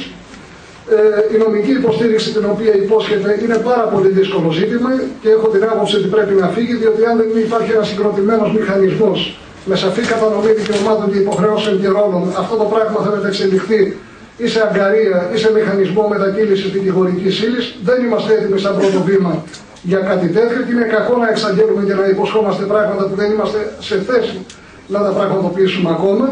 Αυτό Αυτοαβερούμαστε πολύ γρήγορα και είναι κακό. Έχουμε πάρα πολλά άλλα πεδία για να ε, δράσουμε. Τα είπαν οι προηγούμενοι και συμφωνώ. Και όσον αφορά τη λειτουργία, δεν μπορώ παρά να επισημάνω την εξής αντίφαση. Η κίνηση συγκροτείται με βάση την ισότιμη προσωπική συμμετοχή των αγωνιστών μελών της και λειτουργεί με τοπικά. Πώς γίνεται, ρε παιδιά, και τα δύο. Είναι δυνατόν. Δεν μας αρέσουν, λέει η προηγούμενη ομιλήτρια, οι μονοί αριθμοί. Μας αρέσουν οι ζυγοί. Εμένα δεν μου αρέσουν οι ομοφωνίες και τα βέτο, για παράδειγμα. Τα θεωρώ θεμητά όταν υπάρχει διαφωνία αρχών, αλλά όταν υπάρχουν ζήτηματα τακτικής η πλατιά σύνθεση, δηλαδή το βέτο και η αδυναμία ψηφοφορίας είναι τροχοπέδι. Λοιπόν, συνεπώς, προσωπική μου άποψη και δεν έχω βεβαίως την αξίωση, αντιλαμβάνομαι ότι είναι για την καταγραφή στα πρακτικά, να φύγει κάθε λέξη περί μετοπικής λειτουργίας και περί πλατιάς σύνθεσης και να αποσαφινιστεί ότι σε ζητήματα που δεν άπτονται θέσεων αρχών υπάρχει ψηφοφορία και κάπως έτσι προχωράμε και στη ζωή. Σε ευχαριστώ. Ο Παύλος Μετανόπουλος και ακολουθεί ο Παναγιώτης Σαμοθρακίτης.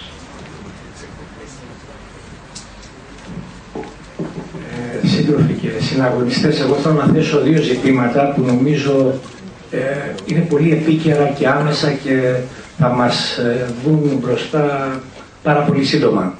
Ε, ξέρετε ότι το δημοσιοπαλικό κίνημα στη χώρα μας έχει μια ιδιαίτερη σημασία μπροστά στην αδυναμία του ιδιωτικού τομέα να οργανώσει την εργατική τάξη.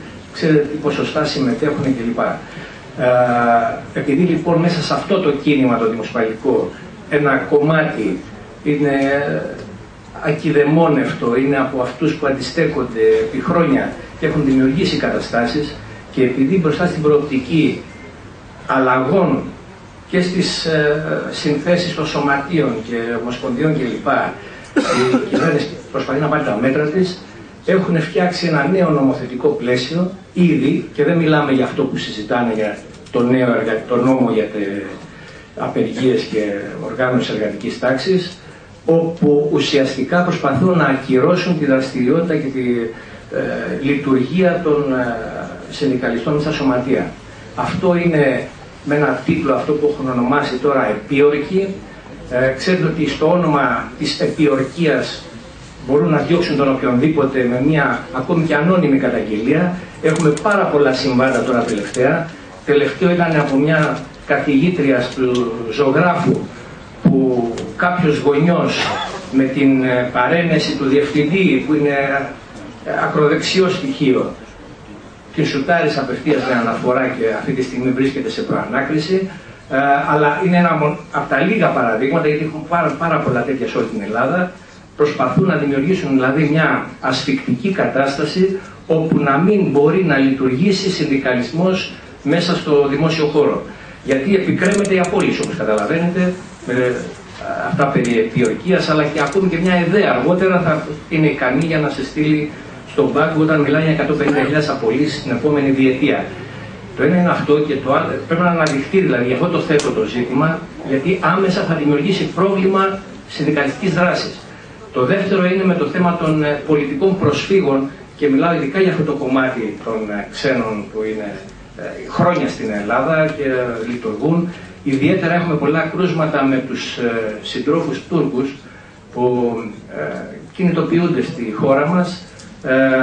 Τελευταία η τουρκική κυβέρνηση έχει φτιάξει μια βιομηχανία παραγωγής ενταλμάτων μέσω Ιντερπολ με βλακώδεις βέβαια αιτιάσεις, όπου όμως δίνει το δικαίωμα στην ελληνική αστυνομία να συλλαμβάνουν πολιτικούς πρόσφυγες που χρόνια είναι στη χώρα μας ε, και να τους στέλνει δικαστήριο για, με έτοιμα την ε, έκδοσή τους στην Τουρκία.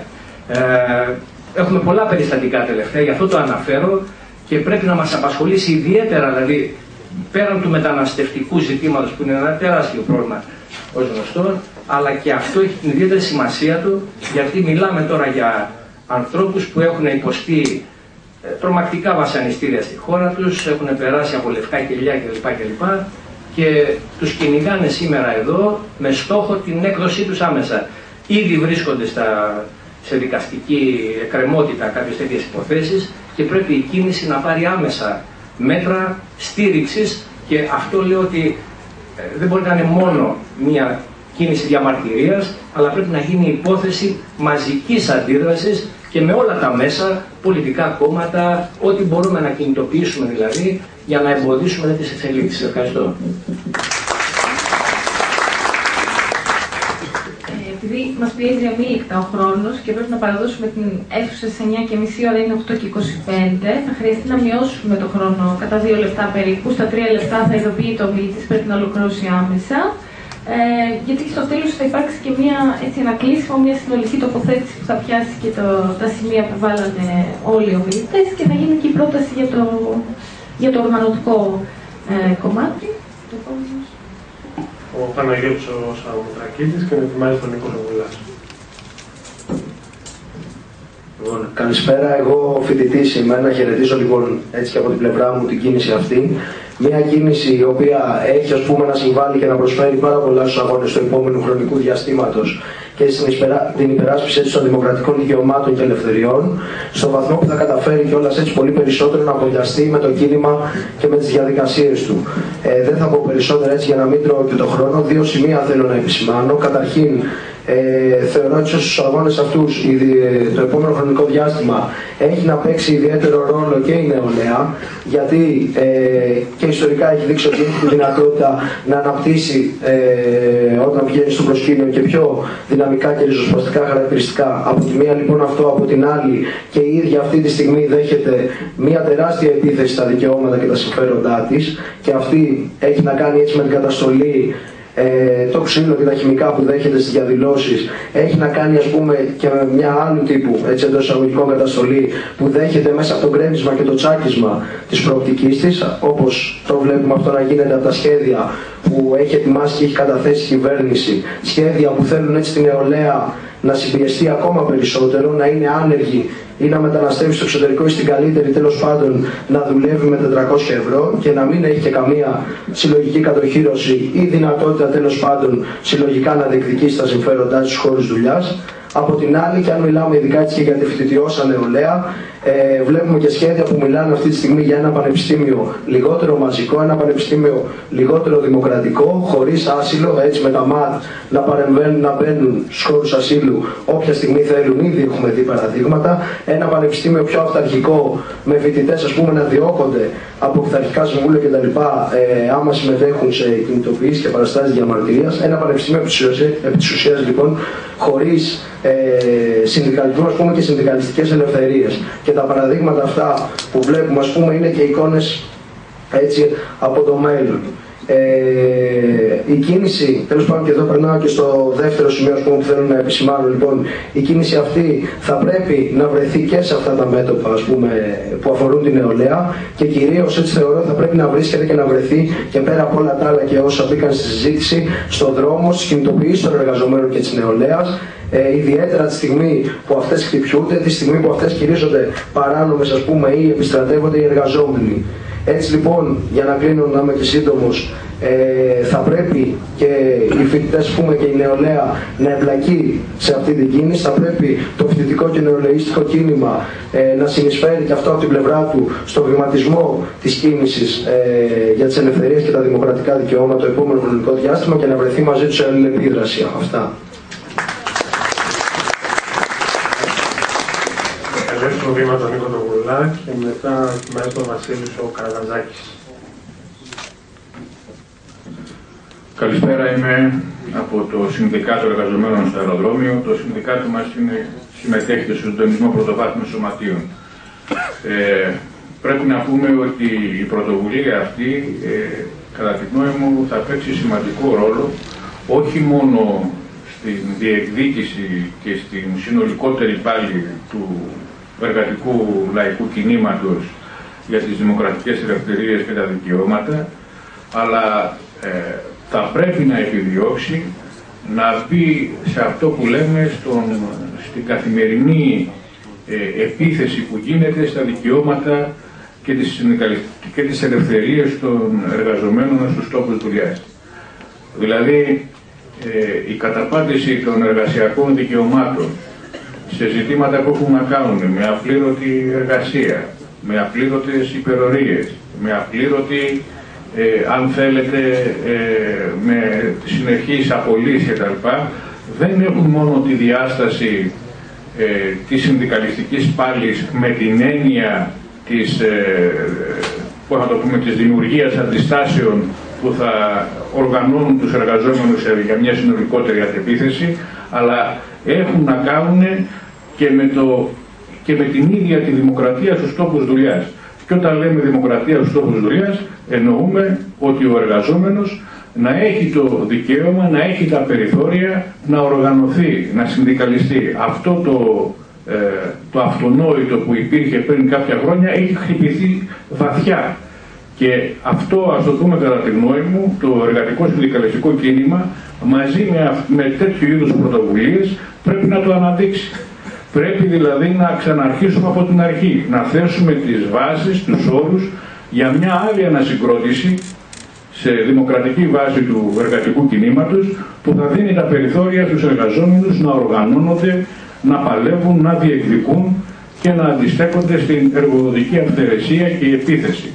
Εδώ ακριβώς ε, νομίζω ότι έρχεται να απαντήσει και να δώσει κάποιες απαντήσεις η πρωτοβουλία αυτή, η προσπάθεια αυτή, η οποία ε, θα παίξει ρόλο στο βαθμό που συνδεθεί με τα συνδικάτα και με, τις, ε, και με, τα, με τα προβλήματα τα οποία ε, είπα και προηγούμενοι, αλλά και θα πάρει και συγκεκριμένες πρωτοβουλίες. Η πρωτοβουλία που ακούστηκε έχει συζητηθεί και στο συντονισμό πρωτοβάθμιων σωματείων και υπάρχει μια αντίστοιχη πρόταση για μια εκδήλωση για τις δημοκρατικές ελευθερίες και τα συνδικαλιστικά δικαιώματα έτσι, στο άμεσο χρονικό διάστημα. Είναι κάτι ε, ενθαρρυντικό κατά τη γνώμη μου το να ξεκινήσει έτσι η κίνηση, να πατήσει πάνω σε αυτά τα ζητήματα που αφορούν αν θέλετε και τη μεγάλη πλειοψηφία ε, των εργαζομένων. Έχει ε, πολύ δρόμο να προχωρήσει, να υπάρχει πολύς δρόμος και πολύ περιθώριο ακόμα για να δημιουργηθούν αν θέλετε εκείνες οι αντιστάσεις, εκείνες οι μορφές που θα ε, σηματοδοτήσουν και μια συνολικότερη αντεπίθεση πάνω σε αυτά τα ζητήματα, αλλά νομίζω ότι πρέπει να προχωρήσουμε με μια με τοπική λογική, με τοπική λογική όχι κύρια στη λειτουργία, αλλά στην, ε, στις διαδικασίες και στη σύνδεση με άλλα κομμάτια του κινήματος, με, άλλα, ε, με άλλες πρωτοβουλίες, οι οποίες αν θέλετε συναντιούνται και ε, για να δίνουν από κοινού τη μάχη ε, μπροστά στην επίθεση που γίνεται. Να έρθει ο Βασίλης ο Καραμαζάκης και να ετοιμάζει το Κώστας ο Πίκας.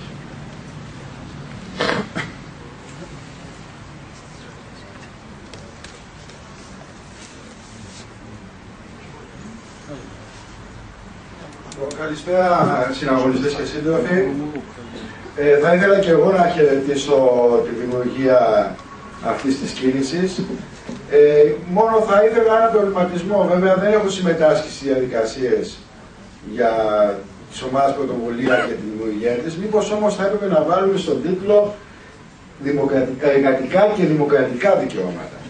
Μπορεί μέσα στο κείμενο που του έριξα μια ματιά το στόχο να αναφέρεται, αλλά μήπως θα έπρεπε είναι η εποχή που πρέπει να, να βγούμε στην αντεπίθεση πια.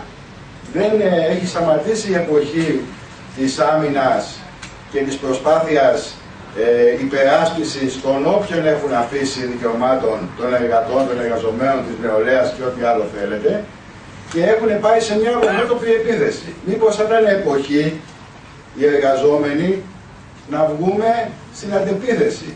Και αυτό πρέπει να τονίζεται ανα πάσα στιγμή ότι αυτή βιώνουμε μια κατάσταση που για τους μεγαλύτερους ηλικία θυμίζει πάρα πολύ τις περιστολές των ε, εργατικών δημοκρατικών δικαιωμάτων του λαού μας την περίοδο της Χούντας.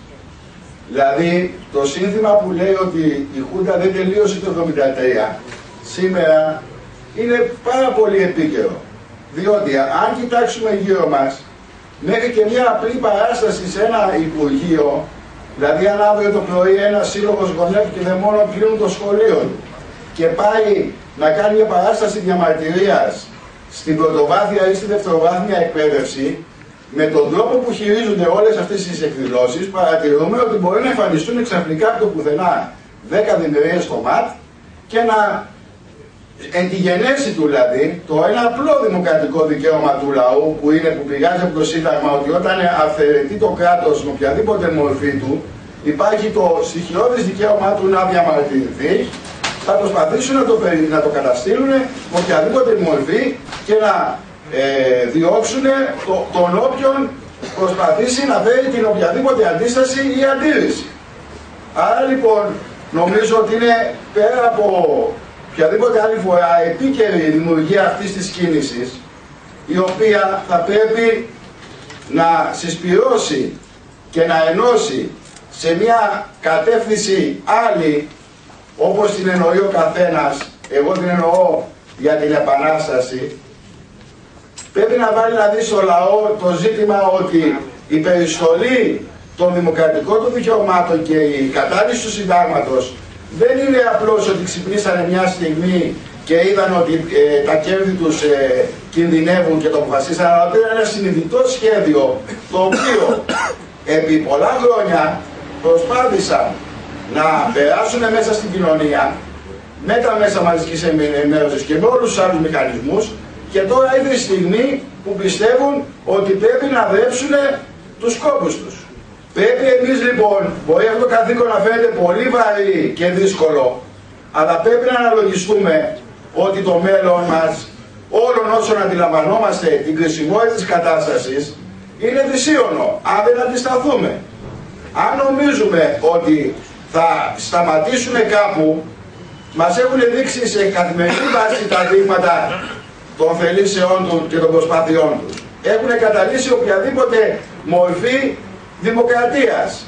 Όταν δηλαδή πάει ο Πρωθυπουργός και πέσει ένα αυγό εναντίον του και ε, επιτάσσουν τρεις ε, πολυκατοικίες με δημιουργίες στο πάλι περικυκλωμένες και ψάχνουν διαμέρισμα διαμέρισμα, αν υπάρχουν αυγά και ποιος μπορεί να τα έριξε, αυτό μπορεί να φαίνεται γελίο κατά πρώτη άποψη, αλλά δείχνει και το πού θέλουν να φτάσουν.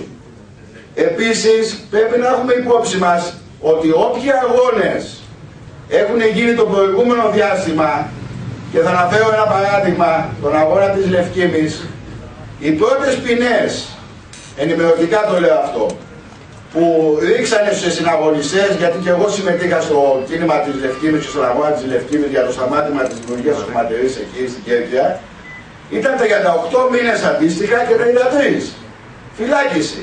Όταν για πολύ σοβαρότερα αδικήματα που τα βλέπουμε όποιον πάνε στη δικαιοσύνη, την όποια δικαιοσύνη τους, είναι πολύ μικρότερε αναλογικά οι ποινές. Για πολύ βαρύτερα ούτε να είχαν σκοτώσει. Δηλαδή, δολοφόνος να ήταν με ένα καλό δικηγόρο και κάποια χρήματα, λιγότερο θα του είχαν βάλει. 38 μήνες φυλάξη βέβαια και το ενός μάλιστα να μην υπάρχει ένας στρατικό χαρακτήρας. Άρα πρέπει να αναλογιστούμε και να σκεφτούμε ότι πρέπει επιτέλους να βγούμε μπροστά εναντίον τους. Διαφορετικά το μέλλον δυσίωνο. Ευχαριστώ πάρα πολύ.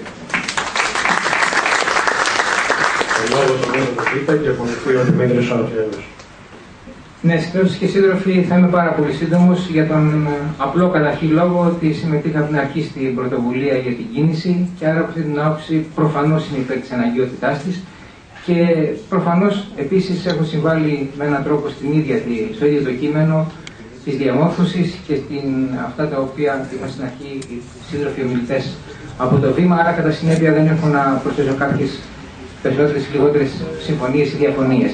Θα ήθελα έτσι αυτό το λίγο χρόνο να το κεντράρω σε ένα, σε ένα μόνο ζήτημα. Νομίζω ότι, κοιτάξτε, είπε ένας από τους πρώτους ομιλητές ότι μετά από τους που μίλησαν στο βήμα, ότι η, δεν, δεν πρέπει να δούμε τη δημιουργία της, την αναγκαιότητα και τη δημιουργία μιας τέτοιας κίνησης ε, απλά και μόνο, προφανώς πρέπει να τη δούμε έτσι, απλά και μόνο όμως μόνο σαν μια αμυντική κατάσταση, ε, σαν μια άμυνα του κινήματος απέναντι στις επιθέσεις οι οποίες δέχονται και δεν χρειάζεται να τις επαναλάβω, τις έχουμε δει πάρα πολύ μέχρι τώρα. Ε, αλλά πρέπει να το δούμε σε μια δυνατότητα επιθετικής κατάστασης. Όξυνσης, αν θυμάμαι καλά, η έκφραση που χρησιμοποίησε είναι των προβλημάτων που ήδη έχει η απέναντι πλευρά. Το κρατάω αυτό για λίγο και στο κρατήσουμε, γιατί πιστεύω ότι η, το να μπορεί κανείς να δει τις δυνατότητες οι οποίες ανοίγονται μπροστά, θέλει μια, να, έχει μια, να έχει μια πάρα πολύ καλή εικόνα των δυνατοτήτων του αντίπαλου και των δυνατοτήτων του δικού του. Δικού του. Και επειδή ο αντίπαλος, μόνο ότι χρησιμοποιεί κάθε δυνατό μέσο καταστολής, κινήματος των ελευθεριών κλπ και πολύ λιγότερο πιθανότατα από τους ιδεολογικούς κλασικούς τρόπους που είχε σε νορμάλ περίοδο του συστήματος για να μπορεί να πείσει, διότι όλοι έχουν χτίσει, προφανώς χρησιμοποιεί ακόμα μια ιδεολογική εισαγωγικά προς, μια ιδεολογική ε, προσπάθεια επιβολή, η οποία μπορεί να ξεκινάει από κλασικά πράγματα όπως ο ρατσισμός και ο διαχωρισμός του εργατικού κινήματος, ο καταγγελματισμό τους ε, και πολλά άλλα πράγματα τα οποία μπορούσε να βρει κανείς σήμερα, χρησιμοποιεί και κάτι άλλο. Χρησιμοποιεί την, τον τρόπο ούτως ώστε να νιώθεις ή να νιώθουμε συλλογικά ότι είμαστε πολύ αδύναμοι σε μια οργανωμένη συστηματική ε, επίθεση απέναντί μας, να μην βλέπουμε τις αντιφάσεις τις οποίες έχει, να μην βλέπουμε τις δυσκολίες τις οποίες έχει, ενώ ταυτόχρονα αποκρίνει και όλες τις αντιστάσεις οι οποίες υπάρχουν.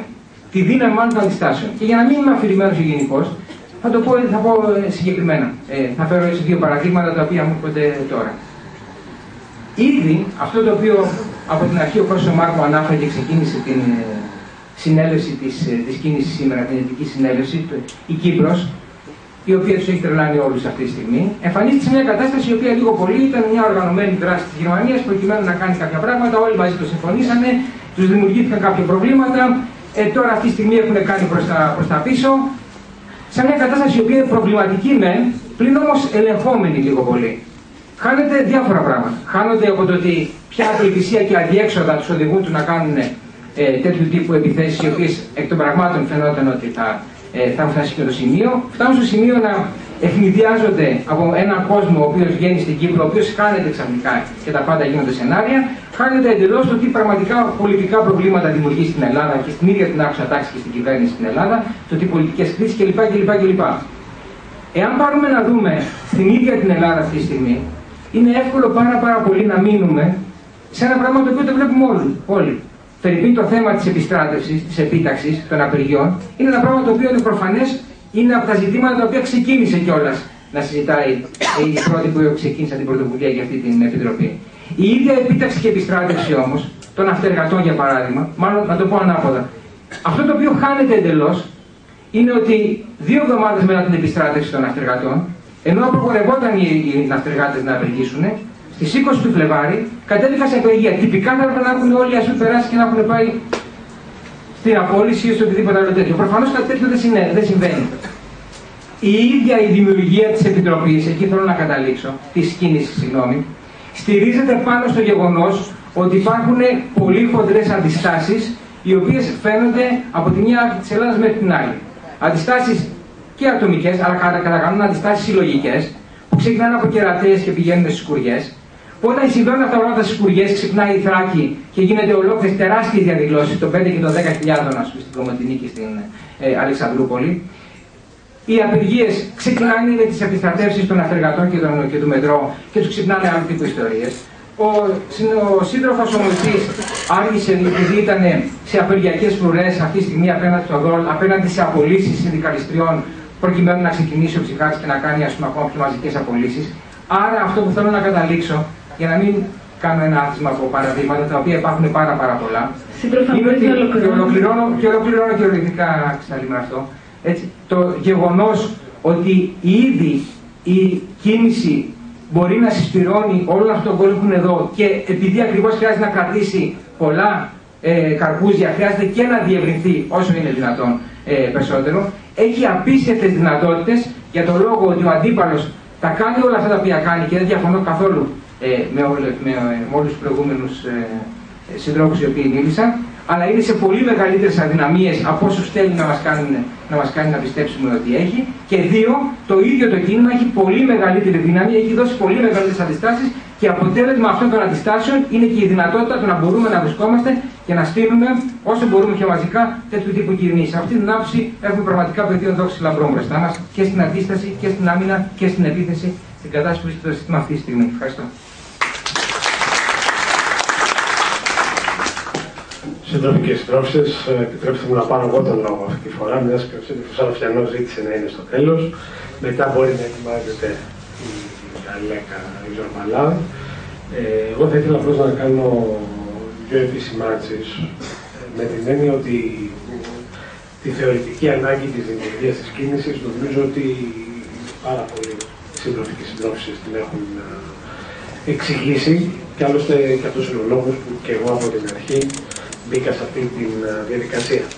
Ε, ο προβληματισμός που υπάρχει σε μένα και ίσως και σε πολλούς από εσάς είναι το τι ε, θα έλεγα πρακτικά θα μπορούσε να κάνει κίνηση με την έννοια ότι οι περισσότεροι από εμάς με τον ένα ή με τον άλλο τρόπο δεν συνειδητοποιούμαστε σε κινήσεις, έχουμε συνδικαλιστική δραστηριότητα κτλ. κτλ.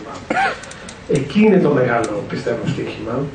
Δηλαδή να μπορέσει καταρχήν αυτή η κίνηση δηλαδή, ε, να φανταστούμε μια εικόνα σε κάποιο χρονικό διάστημα, σε αυτή την αίθουσα ή αλλού, να είμαστε διπλάσιος αριθμός, αλλά να είναι άνθρωποι, έτσι θα έλεγα, οι οποίοι δεν κατεβαίνουν και σε διαδηλώσεις, προβληματίζονται, φωνάζουν, αλλά δεν είναι και οι, τα ενεργά μέλη κινήσεων κομμάτων της αριστεράς κτλ. που με ένα SMS που λέει ο λόγος αμέσως τακτοποιούν το προσωπικό τους πρόγραμμα και βρίσκονται αμέσως σε μια διαδήλωση. Αυτό είναι ένα μεγάλο στοίχημα. Το άλλο είναι, μιας και αναφερθήκαμε πριν στο παράδειγμα του Δόλ και την απόλυση των δύο συντροφισών συνδικαλιστριών, αυτό είναι ο λόγο μάλιστα άρχισα να έρθω, γιατί του από πάνω ρόφους προσπαθούσαμε ως ΕΣΥΑ να δούμε τι κάνουμε, είναι να μπορέσουμε σε τέτοιου είδους γεγονότα να παρεύουμε όχι με την έννοια να προσθεθεί άλλο ένα πανό ενδεχομένως έξω από το δόν που να λέει κίνηση για τα δημοκρατικά εργασιακά δικαιώματα ή απλώς να συνεισφέρουμε με τη φυσική μας παρουσία που είναι αναγκαία 10-20 ακόμη συντρόφων που ενδεχομένως και αν δεν υπήρχε η κίνηση να είχαν ειδοποιηθεί μέσω άλλων κινήσεων και να ήταν εκεί. Είναι να μπορέσουμε να παρεύουμε σε τέτοιους χώρους που είναι και δύσκολοι και συντηρητικοί. Γιατί ξέρετε στο ΔΟΛ ποιο είναι το μεγάλο πρόβλημα; Ότι ενώ έχουμε απολύσεις, ο δημοσιογραφικός κόσμος σε μεγάλο βαθμό δεν θέλει να εκδηλώσει στοιχειοδός στην αλληλεγγύη του. Ντρέπεται να πει ότι δεν θέλει την αλληλεγγύη, αλλά λέει αυτό, δεν λέει, ξέρω εγώ, δεν θέλω απεργία. Για παράδειγμα, δεν είναι υποχρεωτικό να θέλει απεργία. Τι αντιπροτείνεις; Κάτι άλλο, δεν ξέρω, πες, έστω μία, δεν πειράζει, με μία στάση, ξέρω εγώ να δούμε. Δεν υπάρχει κάτι. Και προσπαθεί πίσω από δικαιολογίες και χειραγωγούμενος από άλλα συμφέροντα, στην ουσία να πει δεν πειράζει, χωρίς να συνειδητοποιεί ότι αν αφήσεις αυτή την εποχή το στοιχειώδες, την αλληλεγγύη, θα τη βρεις μπροστά σου αύριο μετά. Θα σου έρθει, είναι αδυσόπιτη η κρίση και οι μεθοδεύσεις των μεγάλων συμφερόντων των εργοδοτικών κτλ. Εκεί λοιπόν η κίνηση, αν είχαμε μια συγκροτημένη, μπορούσαμε να κατέβουμε 40, 50, 100 άτομα ή να συντονίσουμε, να έρθουν συνδικαλιστές, να μοιράσουν ένα χαρτί ελκυστικό που να λέει στον επιφυλακτικό που είναι απ' έξω από το δρόμο και, και θέλει, αλλά και δεν μπορεί και εύκολα να μιλήσει. Να του βάλει, να του μπολιάσει το θέμα τη ελληνική. Υπάρχουν τέτοιοι χώροι έξω. Υπάρχουν χώροι που είναι πιο μπροστά και δεν έχουν πρόβλημα το να εκδώσουν ελληνική, αλλά υπάρχουν ακόμα χώροι που ζουν σε μια ψευδέστηση ότι εγώ είμαι σε ένα ρετυρέ σκέγεται το υπόγειο. Ναι, πρέπει να κλείσω. Δεν θα σας ε, ταλαιπωρήσω άλλο. Το λόγο αμέσως στην Αλέκα Τουρμπάλα.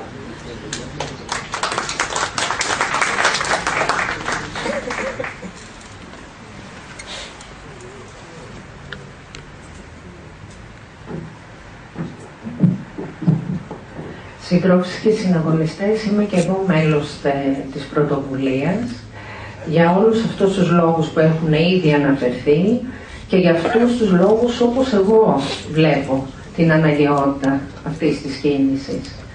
Ζούμε σε μια δημοκρατία εντός ή εκτός εισαγωγικών, πέστε το όπως θέλετε, όπου έχουν αντιστραφεί τα πάντα, για να μην πω ότι έχουν διαστραφεί τα πάντα. Τα μνημόνια ονομάζονται και βαφτίζονται σωτηρία του κράτους και του λαού. Ε, τα στρατόπεδα συγκέντρωσης βαφτίζονται χώροι φιλοξενίας. Η ανεργία, το κόψιμο των μισθών και των συντάξεων, οι ατομικές συμβάσεις εργασίας και οι επιχειρησιακές συμβάσεις εργασίας ονομάζονται ανάπτυξη. Οι νεοναζιστικές συμμορίες ως πολιτική έκφραση και μόρφωμα βαφτίζονται ότι είναι κοινοβουλευτική δημοκρατία. Οι πάνω πληρό κοπτομάτ που σκορπίζουν το αίμα και το χημικό θάνατο ονομάζονται προστασία του πολίτη. και παιδιά του λαού. Ακριβώς. Και παιδιά του λαού. Αυτή λοιπόν είναι η δημοκρατία. Απέναντι σε αυτή τη δημοκρατία, όποια αντίσταση και να υπάρξει, από όπου και αν προέρχεται, ονομάζεται τρομοκρατία.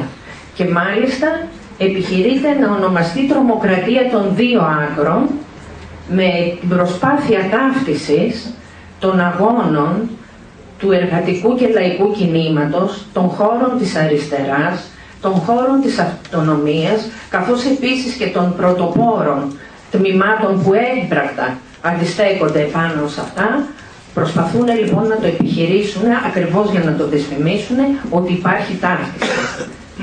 Αυτή η δημοκρατία δείχνει πραγματικά το πρόσωπό της, το οποίο είναι μια στιγνία πολιταρχία. Το κράτος, όπως έχουν αναφερθεί και οι προηγούμενοι και δεν θέλω να επεκταθώ, είναι πλέον ένα κράτος νόμου τάξης και τίποτα περισσότερο. Είναι μια κατάσταση εκτάκτου ανάγκης, υπάρχει μια κυβέρνηση που νομοθετεί εξαιρετικά με προεδρικά διατάγματα και πράξεις νομοθετικού περιεχομένου και τίποτα άλλο, διότι φοβάται ακόμη και τους δικούς της τους βουλευτές, σε μια προσπάθεια έντασης της κρατικής ε, καταστολής τόσο σε ε, αστυνομικό όσο και σε δικαστικό επίπεδο. Και για να μην πολυλογώ, θα ήθελα μόνο να αναφερθώ σε αυτό το και μόνο το επίπεδο, το δικαστικό επίπεδο. Και βλέπουμε τα τελευταία χρόνια, όχι ότι δεν προϋπήρχε, αλλά ιδιαίτερα τα τελευταία δύο-τρία χρόνια, βλέπουμε ότι η δικαστική εξουσία δεν διστάζει να επικαλείται και να παραπέμπει αγωνιστές από όλο το φάσμα εργατικό-πολιτικό με την επίκληση διατάξεων νομοθετικών όπως το άρθρο 183, 184 και 185 του ποινικού κώδικα, σύμφωνα με το οποίο ποινικοποιείται η έκφραση, ποινικοποιείται ο δικαθεστωτικός λόγος. Δεν θέλω να σας κουράσω με την ανάλυση αυτών των άρθρων, το θέμα όμως είναι ένα και το εξής. Όποιος με οποιονδήποτε τρόπο καλεί σε τον οποιονδήποτε άλλον να μην υπακούσει σε νόμο ο οποίος έχει ψηφιστεί, τιμωρείται με φυλάκιση τριών ετών. Όποιος καλεί οποιονδήποτε σε διάπραξη αδικήματος, δηλαδή στη συμμετοχή σε μια απαγορευμένη διαδήλωση ή στην κατάληψη ενός κτηρίου, φυλακίζεται και αυτός για τρία χρόνια. Και όποιος εκθιάζει έγκλημα το οποίο έχει διαπραχθεί, δηλαδή την κατάληψη ενός πανεπιστημιακού χώρου, καταδικάζεται και αυτός με τρία έτη. Έχουμε λοιπόν μία πλήρη ποινικοποίηση του αντικαθεστωτικού λόγου και της έκφρασης. Μετά από αυτό όμως ακολουθεί, και εδώ πρέπει να το προσέξουμε, ακολουθεί και η ποινικοποίηση της σκέψης. Ακολουθούν οι ποινικοποιήσεις όλων των πολιτικών ενεργειών και πράξεων. Γι' αυτό λοιπόν θεωρώ ε, ότι υπάρχει πεδίο δόξη λαμπρό, όπως είπε και ο Μωυσής, για την κίνησή μας, να απαντήσει σε αυτά τα θέματα, να παρέμβει με το εύρος το οποίο διαθέτει, το οποίο δεν είναι καθόλου ευκαταφρόνητο και εννοώ το πολιτικό εύρος το οποίο διαθέτει και το οποίο όμως θα ήθελα να πω ότι έχει ακόμη πολλά περιθώρια για να διευρυνθεί, τουλάχιστον για μένα προς τα αριστερά της. Εκεί έχουμε αφήσει ακόμη ένα κενό και νομίζω ότι θα πρέπει να το δούμε με χώρους και συλλογικότητες που όλα αυτά τα χρόνια έμπρακτα έχουν αποδείξει ότι αγωνίζονται για αυτή την ανατροπή αυτής της κατάστασης σε μία όμως προοπτική πραγματικά ριζοσπαστικού μετασχηματισμού της κοινωνίας. Ευχαριστώ. ακολουθεί ο Ιωάννης ο Τσουκαλάς, να ετοιμάζεται ο τελευταίος ομιλητής πριν ο Χρήστος ο Τουλιάτος, πριν δώσουμε μετά τον λόγο στο σύντροφο του Σαφιανό που θα κάνει και το κλείσιμο της σημερινής συνέλευσης. Καλησπέρα σας. Ε, στα θέματα των ε, ενιών, ε, άκουσα τους προορίζοντες συναδέλφους μου προηγουμένως και δεν θα ήθελα να επισέλθω. Στην πλειοψηφία συμφωνώ μαζί τους ε, και στις αντιπροτάσεις που έκαναν. Και εξάλλου σε εμάς τους δικηγόρους είναι μια επαγγελματική διαστροφή να ορίσουμε τα πάντα με βάση τις έννοιες και τις λέξεις. Όμως αυτό ε, σε ένα μεγάλο βαθμό συνιστά και παγίδα. Ε, τι θέλω να πω με αυτό; Ε, μπορώ να θεωρώ τον εαυτό μου έναν όψιμο ε, εντός εισαγωγικών αγωνιστή. Ε, βγήκα στον δρόμο τους τελευταίους τα τελευταία τρία χρόνια με αφορμή το μνημόνιο. Επομένως δεν έχω περγαμηνέ ιδιαίτερες ε, που να με ακολουθούν από τα φοιτητικά μου χρόνια ή προγενέστερα. Ε, εξ ανάγκη δηλαδή στην ουσία το έκανα. Στην πράξη όμως βρήκα ε, κάποια, κάποιο νόημα στην όλη διαδικασία αυτή και γι' αυτό και συνεχίζω και ακολουθώ την, ε, διαδρομή που, που άνοιξαν άλλοι πριν από μένα. Ε, υπάρχουν κάποια κομμάτια του λαού τα οποία θεωρώ ότι όταν μπούμε σε νόρμες και στρουκτουραλιστικές απόψεις και δογματισμούς τα απομακρύνουμε. Δηλαδή δεν ξέρω αν έχει νόημα να ανακυκλώνουμε τάσεις και ρεύματα ήδη γνωστά στην αριστερά τα οποία θα μεταφέρονται από τον ένα σχηματισμό στον άλλον και μέσα από αυτή την κινητικότητα την εσωτερική νομίζουμε ότι κάτι γίνεται. Ή θα πρέπει να εμπλουτίσουμε ε, την κίνηση αυτή με νέα στρώματα τα οποία αγωνιούν, τα οποία έχουν φτάσει στα όρια τους, τα οποία έχουν πλέον ε, σε μια κατάσταση αυτοσυνειδησίας και θέλουν και αυτά να, ε, να αγωνιστούν. Να αγωνιστούν για κάτι, για, για κάτι καλύτερο, για κάτι καινούριο. Επομένως, εγώ πιστεύω πολύ στο θέμα ε, της ε, ε, ριζοσπαστικοποίησης, η οποία παρατηρείται και σε άλλες μάζες του πληθυσμού ε, και πρέπει κατ' εμέ να αγκαλιαστούν και αυτές οι μάζες. Επομένως, στα πλαίσια αυτής της προσπάθειας ε, αντίστασης ευρύτερης λαϊκής, ε, θα μπορούσα και εγώ να συνεισφέρω με τις μικρές μου δυνάμεις. Ευχαριστώ πολύ. Στο βήμα ο Χρήστος Οφιλιάτος και μετά θα κλείσει ο δύο σύντροφος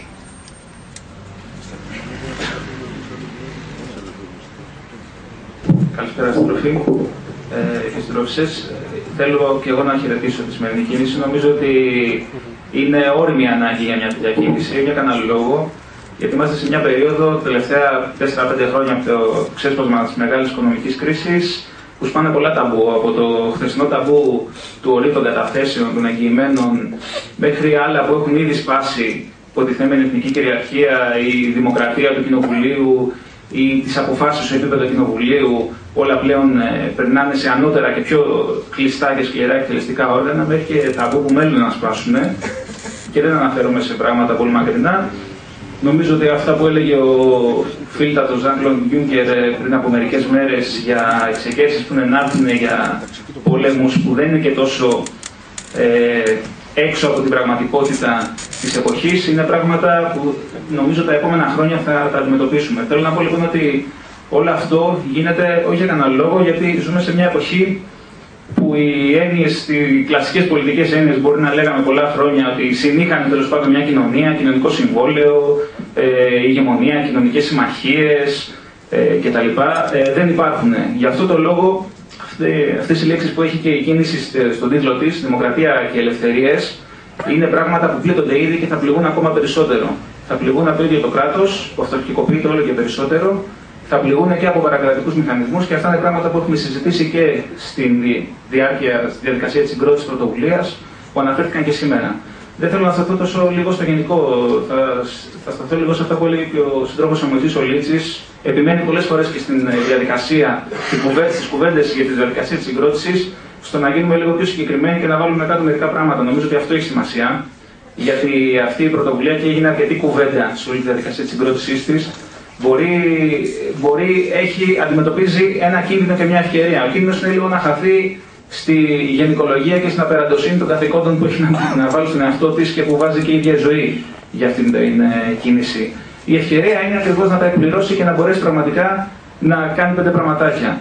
Ε, νομίζω σύντροφε ότι πραγματικά θα προσφέρει πάρα πολλά αυτή η κίνηση αν μπορέσει να κάνει απλά πραγματάκια. Αν μπορέσει να ξαναφτιάξει, να επικαιροποιήσει, για παράδειγμα, θυμάμαι πριν από 10 και παραπάνω χρόνια η συντρόφισσα Αλέκα Ζωμπαλά, θα το θυμάται, νομίζω η Δημοκρατική Σπύρο το είχε βγάλει ένα φυλαδιάκι, κάποιο υλικό. Είχαν βγει και από άλλες κινήσεις και το δίκτυο είχε βγάλει παλιά για, τα κοινωνικά και πολιτικά δικαιώματα και πρωτοβουλίες δικηγόρων. Νομίζω ότι τέτοια υλικά χρειάζονται αφενός και για τον εξοπλισμό του κινήματος και για την επικαιροποίηση ε, τη, και τη γνώση του ίδιου του κόσμου, γιατί όλο και περισσότερος κόσμος από τον προηγούμενο σύντροφο μπαίνει στον δρόμο του αγώνα και είναι κόσμος που μπορεί να μην έχει μια εμπειρία κινητοποιήσεων, προϊόν, δικαιωμάτων, να μην έχει ε, εμπειρία να αντιμετωπίσει καταστάσεις και νομίζω ότι είναι χρήσιμο ακόμα και σε αυτή την εποχή το να είναι αυτά γνωστά, είναι και αυτά όπλα μας, όσο και αν αυτά καταργούνται, όσο και αν αυτά χτυπιούνται, όσο και αν θα φτάσουμε προφανώς να πρέπει να αξιοποιήσουμε και το, τελε, και την τελευταία, και το τελευταίο ίχνος δικαιώματος που δεν έχουν εξαλείψει ακόμα στην προσπάθεια να αλλάξουμε την κοινωνία ολόκληρη. Ε, το δεύτερο νομίζω είναι έτσι καλώς μια αρρωγή, αναφέρεται ήδη και στα κείμενα στην ε, προτινόμενη διακήρυξη και την απόφαση, μια αρρωγή σε επίπεδο συνδικάτων, σε επίπεδο κινημάτων και σε επίπεδο συμβουλών, νομίζω και σε άλλο επίπεδο νομικό αν χρειαστεί. Ε, και τέλος τρόφι νομίζω ότι πρέπει να κεντράρουμε κυρίως στο κομμάτι συνολικά των δημοκρατικών δικαιωμάτων και των ελευθεριών. Είχαμε και μια ολόκληρη κουβέντα ε, ότι όλων, το, όλων των ζητημάτων μπορεί να αντιμετωπίσει μια τέτοια κίνηση. Νομίζω ότι ζητήματα όπως ο ρατσισμός και ο φασισμός προφανώς θα απασχολήσουν και την κίνηση, έχουν και τη δικιά τους αυτοτέλεια. Ε, υπάρχουν και αντίστοιχες κινήσεις που τα αντιμετωπίζουν και πρέπει να φτιαχτούν και, και άλλες επίση σχετικά αυτοτελείς κινήσεις στα συγκεκριμένα ζητήματα, με τα οποία πρέπει να συμπεριφθούμε, να βρεθούμε και από κοινού να λειτουργήσουμε. Κλείνω λέγοντας αυτό που λέει και η διακήρυξη: η κίνηση πρέπει να λειτουργεί με τοπικά, να έχει κουλτούρα κοινής δράσης και αν μη τι άλλο και ένα ταμπού που από όλα τα ταμπού που σπάνε οι αντίπαλοι μας, να σπάσουμε. Και σπάμε και εμείς νομίζω σήμερα ένα ταμπού, το ταμπού λέγω ότι κάποια ζητήματα έχουν μια σχετική αυτοτέλεια. Ότι υπάρχει μια σχετική αυτοτέλεια του δημοκρατικού ζητήματος στην περίοδο που ζούμε. Ότι υπάρχει μια σχετική αυτοτέλεια του φασιστικού ζητήματος στην περίοδο που ζούμε. Ότι υπάρχει μια αυτοτέλεια σχετική του εθνικού ζητήματος στην περίοδο που ζούμε. Και αντίστοιχα πρέπει να αντιμετωπιστούν. Ο Δημήτρης Καραφιανό θα προχωρήσει στο κλείσιμο της συνέντευξης. Συντρόφισσες και σύντροφοι, νομίζω ότι σήμερα κάνουμε ένα αποφασιστικό βήμα σε ένα μέτωπο το οποίο είναι εξαιρετικά σημαντικό ήταν εδώ και πολλά χρόνια, ήταν μια έλλειψη αυτή η απουσία μιας κίνησης για τα δημοκρατικά δικαιώματα και τις ελευθερίες ελευθερίε. Σήμερα όμως στις συνθήκες τις οποίες ζούμε γίνεται ακόμα πιο έντονη η αναγκαιότητα της παρουσίας της. Μία πρώτη πιστεύω επιτυχία την οποία είχε αυτή η κίνηση και ήταν και στόχος της ήταν να μπορέσει να συγκεντρώσει ανθρώπους από περισσότερα κινήματα τα οποία βγήκαν στον δρόμο ένα προηγούμενο χρονικό διάστημα και δέχτηκαν ε, τα χτυπήματα της καταστολής. Έχουμε εδώ ανθρώπους και συμμετέχουν στην κίνησή μας από τις ε, επιστρατευμένους χώρους της ΕΘΕΛ και του Μετρό. Έχουμε από τους εργατικούς αγώνες, τους μεγάλους της Χαλιβουργίας που δέχτηκαν επίσης την καταστολή με τα ΜΑΤ. Έχουμε συντρόφους και συντρόφους από αγώνες παλαϊκούς που αντιμετώπισαν τα ΜΑΤ επί εκατοντάδες ημερών και την καταστολή με τον πιο αποφασιστικό τρόπο και ενέπνευσαν με τους αγώνες τους ολόκληρη την ελληνική κοινωνία, όπως η Λευκίνη και η Κερατέα. Έχουμε συντρόφους οι οποίοι δώσανε μεγάλες μάχες στον, στα, για το ζήτημα των χαρατσιών με τις λαϊκές συνελεύσεις, με το ζήτημα της ε, καταπολέμησης της ανεργίας ή με το ζήτημα των διοδίων, που ήταν και το πρώτο, η πρώτη σπίθα για την ανάπτυξη του, κοινό, του κινήματος «Δεν πληρώνω» και οι οποίοι επίσης βρίσκονται αυτή τη στιγμή στο στόχο της ποινικοποίησης. Έχουμε συντρόφους από τους δημοσίους υπαλλήλους που δέχονται αυτή τη στιγμή την πότα των πειθαρχικών διώξεων. Έχουμε μετανάστες, έχουμε Τούρκους πολιτικούς πρόσφυγες οι οποίοι αυτή τη στιγμή δέχονται με τεράστια ένταση και επίθεση την, ε, τη συνεργασία μεταξύ Τουρκίας και Ελλάδος για την ε, καταπολέμηση οποιαδήποτε αντίστασης στην Τουρκία. Ε, και βεβαίως έχουμε συναδέλφους, δικηγόρους, οι οποίοι έχουν δώσει πολύ χρόνο, πολύ αγώνα στα έδρανα των δικαστηρίων απέναντι στην τρομοϊστορία και ακόμα επίσης, ας μην το λένε ή ας θεωρούν ότι δεν έχουν περγαμηνές, δικηγόρους οι οποίοι συμμετείχαν με πολύ σημαντική συνεισφορά στα κινήματα του προηγούμενου χρονικού διαστήματος. Είναι εδώ άνθρωποι από την ομάδα νομικής υποστήριξης της πλατείας της πλατείας συντάγματος που αντιμετώπισαν με αποφασιστικότητα την καταστολή της 27-28 Ιούνιου το 2012. Έχουμε ανθρώπους από την ομάδα νομικής βοήθειας που υπεράσπισε με τον καλύτερο δυνατό τρόπο στο δρόμο ε, τις διώξεις απέναντι στο κίνημα του Δεκέμβρη και αντιμετώπισαν και οι ίδιοι την καταστολή καθώς προσήχθησαν όλοι ομαδικώς στην Γενική Αστυνομική Διεύθυνση Αττικής. Και φυσικά είναι στην κίνησή μας, ε, συμμετέχουν δηλώσεις συμμετοχή άνθρωποι, δημοσιογράφοι που έχουν δώσει τους αγώνες και έχουν δεχτεί διώξεις για τους αγώνες όπως ο Κώστας Αρβανίτης και άλλοι που βρίσκονται σήμερα μαζί μας, πανεπιστημιακοί που έχουν δείξει έναν άλλο τρόπο λειτουργίας της διανόησης και στο ζήτημα των δημοκρατικών δικαιωμάτων. Έχουμε πολλά πράγματα να κάνουμε μπροστά μας και στοιχήματα. Πρώτο στίχημα, κατά τη γνώμη μου, είναι να αποκτήσει αυτή η κίνηση πανελλαδικότητα. Τι χρειαζόμαστε. Αυτή τη στιγμή στη Θεσσαλονίκη έχουμε χιλιάδες ποινικές υποθέσεις που αφορούν είτε το έσχος που γίνεται με τις σκουριές, είτε τους αγώνες της νεολαίας μιας προηγούμενης περίοδου. Στα Χανιά έχουμε ποινικοποίηση των αγώνων ενάντια στις καταλήψεις των δημοσίων κτηρίων, τις καταλήψεις της νομαρχίας και άλλες καταλήψεις που έχουν γίνει σε εκείνη την περιοχή. Έχουμε πανελλαδική ποινικοποίηση του κινήματος των διοδίων. Χρειαζόμαστε λοιπόν να φτιάξουμε παντού τέτοιου είδους επιτροπές πρωτοβουλίας για τη συγκρότηση αυτής της κίνησης. Έχουμε ανάγκη τη διεύρυνση. Αυτό είναι αλήθεια. Ο στόχος της κίνησής μας και το πολιτικό πλαίσιο της κίνησής μας είναι να να υπερασπίσει αποφασιστικά και χωρίς περιορισμούς την, ε, αυτούς που δέχονται αυτή τη στιγμή τα, τα ισχυρά κατασταλτικά χτυπήματα και την περιστολή των δικαιωμάτων τους. Δεν έχουμε σκοπό, και αυτό είναι μια πρωτοτυπία αν θέλετε αυτής της κίνησης, να εντάξουμε μια τέτοιου είδους κατεύθυνση σε κάποια πολιτικά προαπαιτούμενα που να αποτρέπουν από την υπεράσπιση. Δεν βάζουμε όρια όπως έχουν μπει στο παρελθόν σε αντίστοιχες περιπτώσεις ανάλογα με την πολιτική κατεύθυνση ή με το εάν μας ταιριάζει ή δεν μας ταιριάζει η αλληλεγγύη σε συγκεκριμένους ανθρώπους, σε συγκεκριμένα πρόσωπα ανάλογα με τη δράση την οποία κάνουμε. Ε, θυμίζω τη δημοκρατική συσπήρωση για τις λαϊκές ελευθερίες που ξεκίνησε με έναν ε, ανοιχτό και δημοκρατικό τρόπο τη λειτουργία της με τις πρώτες δίκες για την τρομοκρατία διελήθη στα εξών συνετέθη από πολιτική συγκεκριμένη επιλογή. Ε, θυμίζω τις περιπτώσεις εκείνων των επιτροπών αλληλεγγύης, οι οποίες σφάζονταν μεταξύ τους για το ποιος κατηγορούμενος πρέπει στις δίκες για τρομοκρατία να υπερασπιστεί και ποιος δεν αξίζει την υπεράσπισή μας.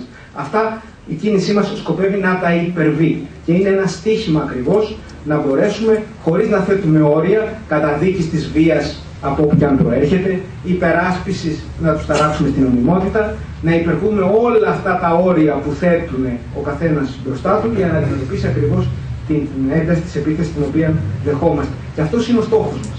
Ακόμα και με όσους θεωρούν ότι η υπεράσπιση των δημοκρατικών δικαιωμάτων και των λαϊκών ελευθεριών έχει όρια και με αυτούς θα δράσουμε από κοινού.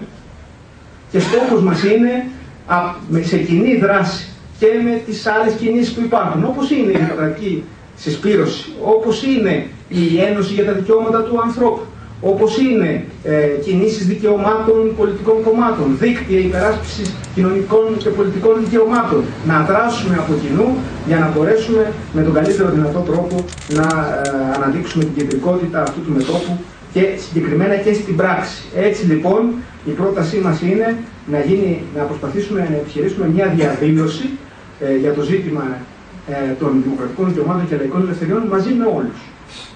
Ε, δεύτερον, στόχος μας είναι, εάν μπορέσουμε να κατορθώσουμε, να αναδείξουμε μέσα από την ε, συμβολική ημέρα της 21ης Απριλίου ότι η Χούντα δεν τελείωσε το 1973 μαζί με όποιους μπορέσουμε από κοινού να κάνουμε μια τέτοιου είδους κίνηση.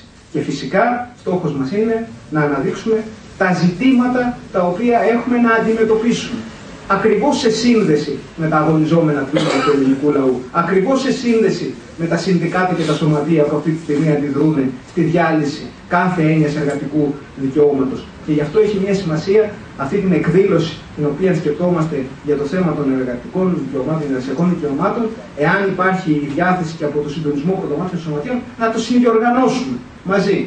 Για να μπορέσουμε ακριβώς να φέρουμε ακόμα πιο κοντά την κίνησή μας με τις ε, αντιστάσεις και τις αντιδράσεις που υπάρχουν στην ελληνική κοινωνία.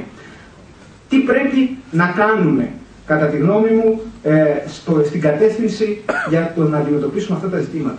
Δεν πρέπει απλώς να τα αναδείξουμε, δεν πρέπει να τα, να τα αναδείξουμε, ε, να, να εμβαθύνουμε μόνο στο νομικό πεδίο της υπεράσπισής τους.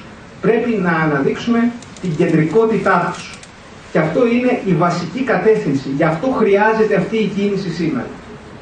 Το ζήτημα της υπεράσπισης των δημοκρατικών δικαιωμάτων και των λαϊκών ελευθεριών δεν είναι ένα ζήτημα ε, το οποίο αφορά το κάθε δικαίωμα ξεχωριστά. Η επίθεση είναι ενιαία και αυτή την κεντρικότητα της επίθεσης και την κεντρικότητα που πρέπει να έχει η απάντηση οφείλουμε να την αναδείξουμε. Και επιτρέψτε μου ένα σχολιασμό, είναι δεδομένο ότι σήμερα η αστική τάξη δεν έχει να προσφέρει μέσα από την υπεράσπιση, τη, τη διάθεση δικαιωμάτων προς ε, τα λαϊκά στρώματα ε, να κατοχυρώσει μια ηγεμονία. Η ηγεμονία της αυτή αυτή τη στιγμή είναι υπονομευμένη. Αυτό που αναδεικνύει είναι η γυμνή κυριαρχία της. Η γυμνή καταστολή, το αποκρουστικό πρόσωπο του Λεβιάθων. Αυτό το οποίο έχουμε εμείς σαν στόχο είναι να δείξουμε ότι ναι, μπορεί να υπάρξει μια νέα ηγεμονία. Μια νέα ηγεμονία με το εργατικό κίνημα μπροστάρι. Για να δείξει ότι ναι, η υπεράσπιση των δημοκρατικών δικαιωμάτων και των λαϊκών ελευθεριών μπορεί να επιτευχθεί στο δρόμο μέσα από μια ανάπτυξη μιας κίνησης που θα θέσει αιτήματα ριζικού κοινωνικού μετασχηματισμού, δηλαδή το να μετατρέψει την τυπική ελευθερία και ισότητα σε κοινωνική ελευθερία και ισότητα. Πρέπει λοιπόν στα πλαίσια αυτά, σε αυτή την κεντρικότητα, να δείξουμε ότι τα επιμέρους ζητήματα, το θέμα των εργατικών δικαιωμάτων και της πάλησης για την ανεργία, το θέμα της περάσπισης του δικαιώματος στον αγώνα, το θέμα για την επιθέση που γίνονται αυτή τη στιγμή στα ζητήματα της δημοκρατίας, το θέμα το οποίο αφορά το ρατσισμό, την άνοδο του ρατσισμού και του φασισμού, που ας μου επιτραπεί δεν αφορά φυσικά μόνο τους μετανάστες. Ήδη σήμερα έχουμε ε, την επιχείρηση θέτης, που θέτει σε στρατόπεδα συγκέντρωσης τους, ε, και σε ε, αναγκαστική επιβολή ιατρικών εξετάσεων ευρύτερα στρώματα πληθυσμού. Τους ναρκωμανείς, τους οροθετικούς κτλ. Σκούπες. Ε, Όπως επίσης φυσικά και το ζήτημα της κατάστασης που υπάρχει αυτή τη στιγμή στον χώρο των ΜΜΕ και την πραγματικότητα της επιβολής μιας και μοναδικής άποψης. Θέλουμε λοιπόν να εμβαθύνουμε σε αυτά τα ζητήματα, γι' αυτό και χρειαζόμαστε να, στο επόμενο διάστημα να δούμε τις διαθεσιμότητες που υπάρχουν από όλους μας για να μπορέσουμε ακριβώς να φτιάξουμε ομάδες που θα εμβαθύνουν ακόμα περισσότερο σε αυτά τα ζητήματα, αλλά και κυρίως για να αναδείξουν το πώς πρέπει να αντιμετωπιστεί αυτή η επίθεση. Θέλουμε να δείξουμε και να δώσουμε τη δυνατότητα στους ανθρώπους οι οποίοι δέχονται την επιστράτευση τον τρόπο με τον οποίο μπορούν να την αντιμετωπίσουν. Στους ανθρώπους οι οποίοι αυτή τη στιγμή δέχονται και επιβάλλουν τις κούπες τον τρόπο με τον οποίο μπορούν να την αντιμετωπίσουν. Στον δρόμο και δικαστικά την, ε, από τα έδρανα του κατηγορουμένου, αλλά και από πλευράς ενός κοινωνικού κινήματος, το οποίο θα ακριβώς θα αποτρέπει από την επιβολή αυτής της κίνησης, της καταστολής και της περιστολής των δικαιωμάτων. Αυτά είναι τα στοιχήματα τα οποία έχουμε μπροστά μας και είναι πάρα πολύ σημαντικά. Κρατάω από αυτά τα οποία υπόθηκαν μέχρι σήμερα ε, τις παρατηρήσεις οι οποίες έχουν γίνει, οι οποίες νομίζω ότι είναι όλες, μπορούν να ενσωματωθούν στη διακήρυξη και φυσικά οι παρατηρήσεις του Κώστα νομίζω ότι μας βρίσκουν όλους ε, απολύτως σύμφωνους. Ε, πιστεύω ότι μπορούμε άμεσα να, να, βγάλουμε, να κοιτάξουμε να βγάλουμε κάποια ψηφίσματα. Ε, όπως παραδείγματος χάρη το ψήφισμα που προτάθηκε για το θέμα της αντιμετώπισης των ε, αντιστάσεων απέναντι των διαμαρτυριών που γίνονται εντός των παρελάσεων και του τι σημαίνει αυτή η στρατιωτικοποίηση την οποία ας πούμε, επιβάλλεται με, ε, με τον μηχανισμό των παρελάσεων. Ε, θα μπορούσαμε να δούμε ένα ζήτημα που έθεσε ο Κώστας πριν και που αυτή τη στιγμή έχει πάλι ανοίξει με μια ένταση, ότι αυτή τη στιγμή έχει ανοίξει πάλι ξανά ποινικές δίκες για τους αντιρρησίες συνείδησης, οι οποίες περνάνε από τα στρατοδικεία. Είναι ένα θέμα ε, και ένα τελευταίο ζήτημα, το οποίο πιστεύω ότι έχει μια σημασία, ε, γιατί όντως αν η μισή καρδιά μας σήμερα βρίσκεται στην Κύπρο, που ίσως θα μπορούσαμε να γράψουμε και γι' αυτό κάτι, η άλλη μισή καρδιά μας βρίσκεται στην Τουρκία, η οποία κάθε βλέπουμε ε, φυλακής, φυλακίσεις αγωνιστών, 119 μέλη της Ομοσπονδίας των Δημοσίων Υπαλλήλων, πριν από λίγες μέρες. 64 δικηγόροι βρίσκονται αυτή τη στιγμή υπό συνελήφθησαν το προηγούμενο χρονικό διάστημα. 46 από αυτούς είναι ακόμα στη φυλακή. Και όταν μιλάμε για φυλακές στην Τουρκία, εννοούμε κάτι το οποίο δεν έχει σταματήσει καθόλου. Ανθρώπους οι οποίοι δεν έχουν αυτή τη στιγμή κανένα περιθώριο, δεν υπάρχει όριο στην κράτηση. Κράτηση χωρίς κατηγορία, χωρίς κανένα περιθώριο, ε, χρονικό όριο για την κράτηση αυτή. Και φυσικά μιλάμε και για αδυναμία ή αδυναμία πρόσβασης στη δικογραφία. Δεν ξέρουν γιατί κατηγορούνται και ούτε μπορούν να δουν καν για ποιον λόγο έχουν συνηθίσει.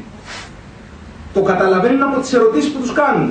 Γιατί υπερασπιστήκατε αυτές τις υποθέσεις, Γιατί ε, οι πελάτες σας κατά τεκμήριο ζητάνε συχνότερα να επικαλεστούν οι εντολείς τους το δικαίωμα σιωπής κατά την ανάκριση, αυτό το οποίο ζητάμε κι εμείς. Στου κατηγορούμενους να πηγαίνουν και να λένε ότι αρνούμαστε τις κατηγορίες, ασκούσαμε τα δημοκρατικά μας δικαιώματα και θα απολογηθούμε στο δικαστήριο. Αυτό εκεί είναι λόγος για να συλληφθεί. Και επειδή εγώ πιστεύω ότι αυτά τα πράγματα ε, είναι πιθανόν το μέλλον μας, έχουμε ένα ακόμα μεγαλύτερο καθήκον να υπερασπιστούμε αυτούς ε, τους συντρόφους που δέχονται αυτή την επίθεση. Ένα τελευταίο θέμα για, και για να κλείσουμε με αυτό. Ε, η πρόταση την οποία κάνουμε εμείς είναι ε, να εκλεγεί μια συντονιστική επιτροπή ανοιχτή, όσο το δυνατόν πιο αντιπροσωπευτική και πλατιά, κινηματικά και πολιτικά. Ε, θα κάνουμε μία πρόταση για κάποιες ε, συγκεκριμένους ανθρώπους που έχουμε σκεφτεί και έχουν συζητηθεί και έχουν δεχτεί καταρχήν. Ε, όποιος άλλος επίσης επιθυμεί μπορεί να είναι μέλος και να δηλώσει ότι θέλει να είναι μέλος αυτής της Επιτροπής Ε, και φυσικά θέλουμε από κάποιους ανθρώπους οι οποίοι αυτή τη στιγμή ίσως βρίσκονται για πρώτη φορά ε, κοντά στην κίνησή μας, θέλουμε να το σκεφτούν πολύ σοβαρά να, να, συμμετέχουν, να συμμετέχουν σε αυτή. Ε, πιστεύουμε ότι δεν πρέπει σε αυτό το στάδιο να εκλέξουμε κάποια γραμματεία ή κάποιο άλλο όργανο. Πιστεύουμε ότι πρέπει να αρχίσει να λειτουργεί αυτή η Συντονιστική Επιτροπή και μέσα και από ομάδες εργασίας να εμπλακούμε στο δυνατόν περισσότεροι ε, σε αυτή τη διαδικασία, γιατί το κίνημα μας χρειάζεται όλους.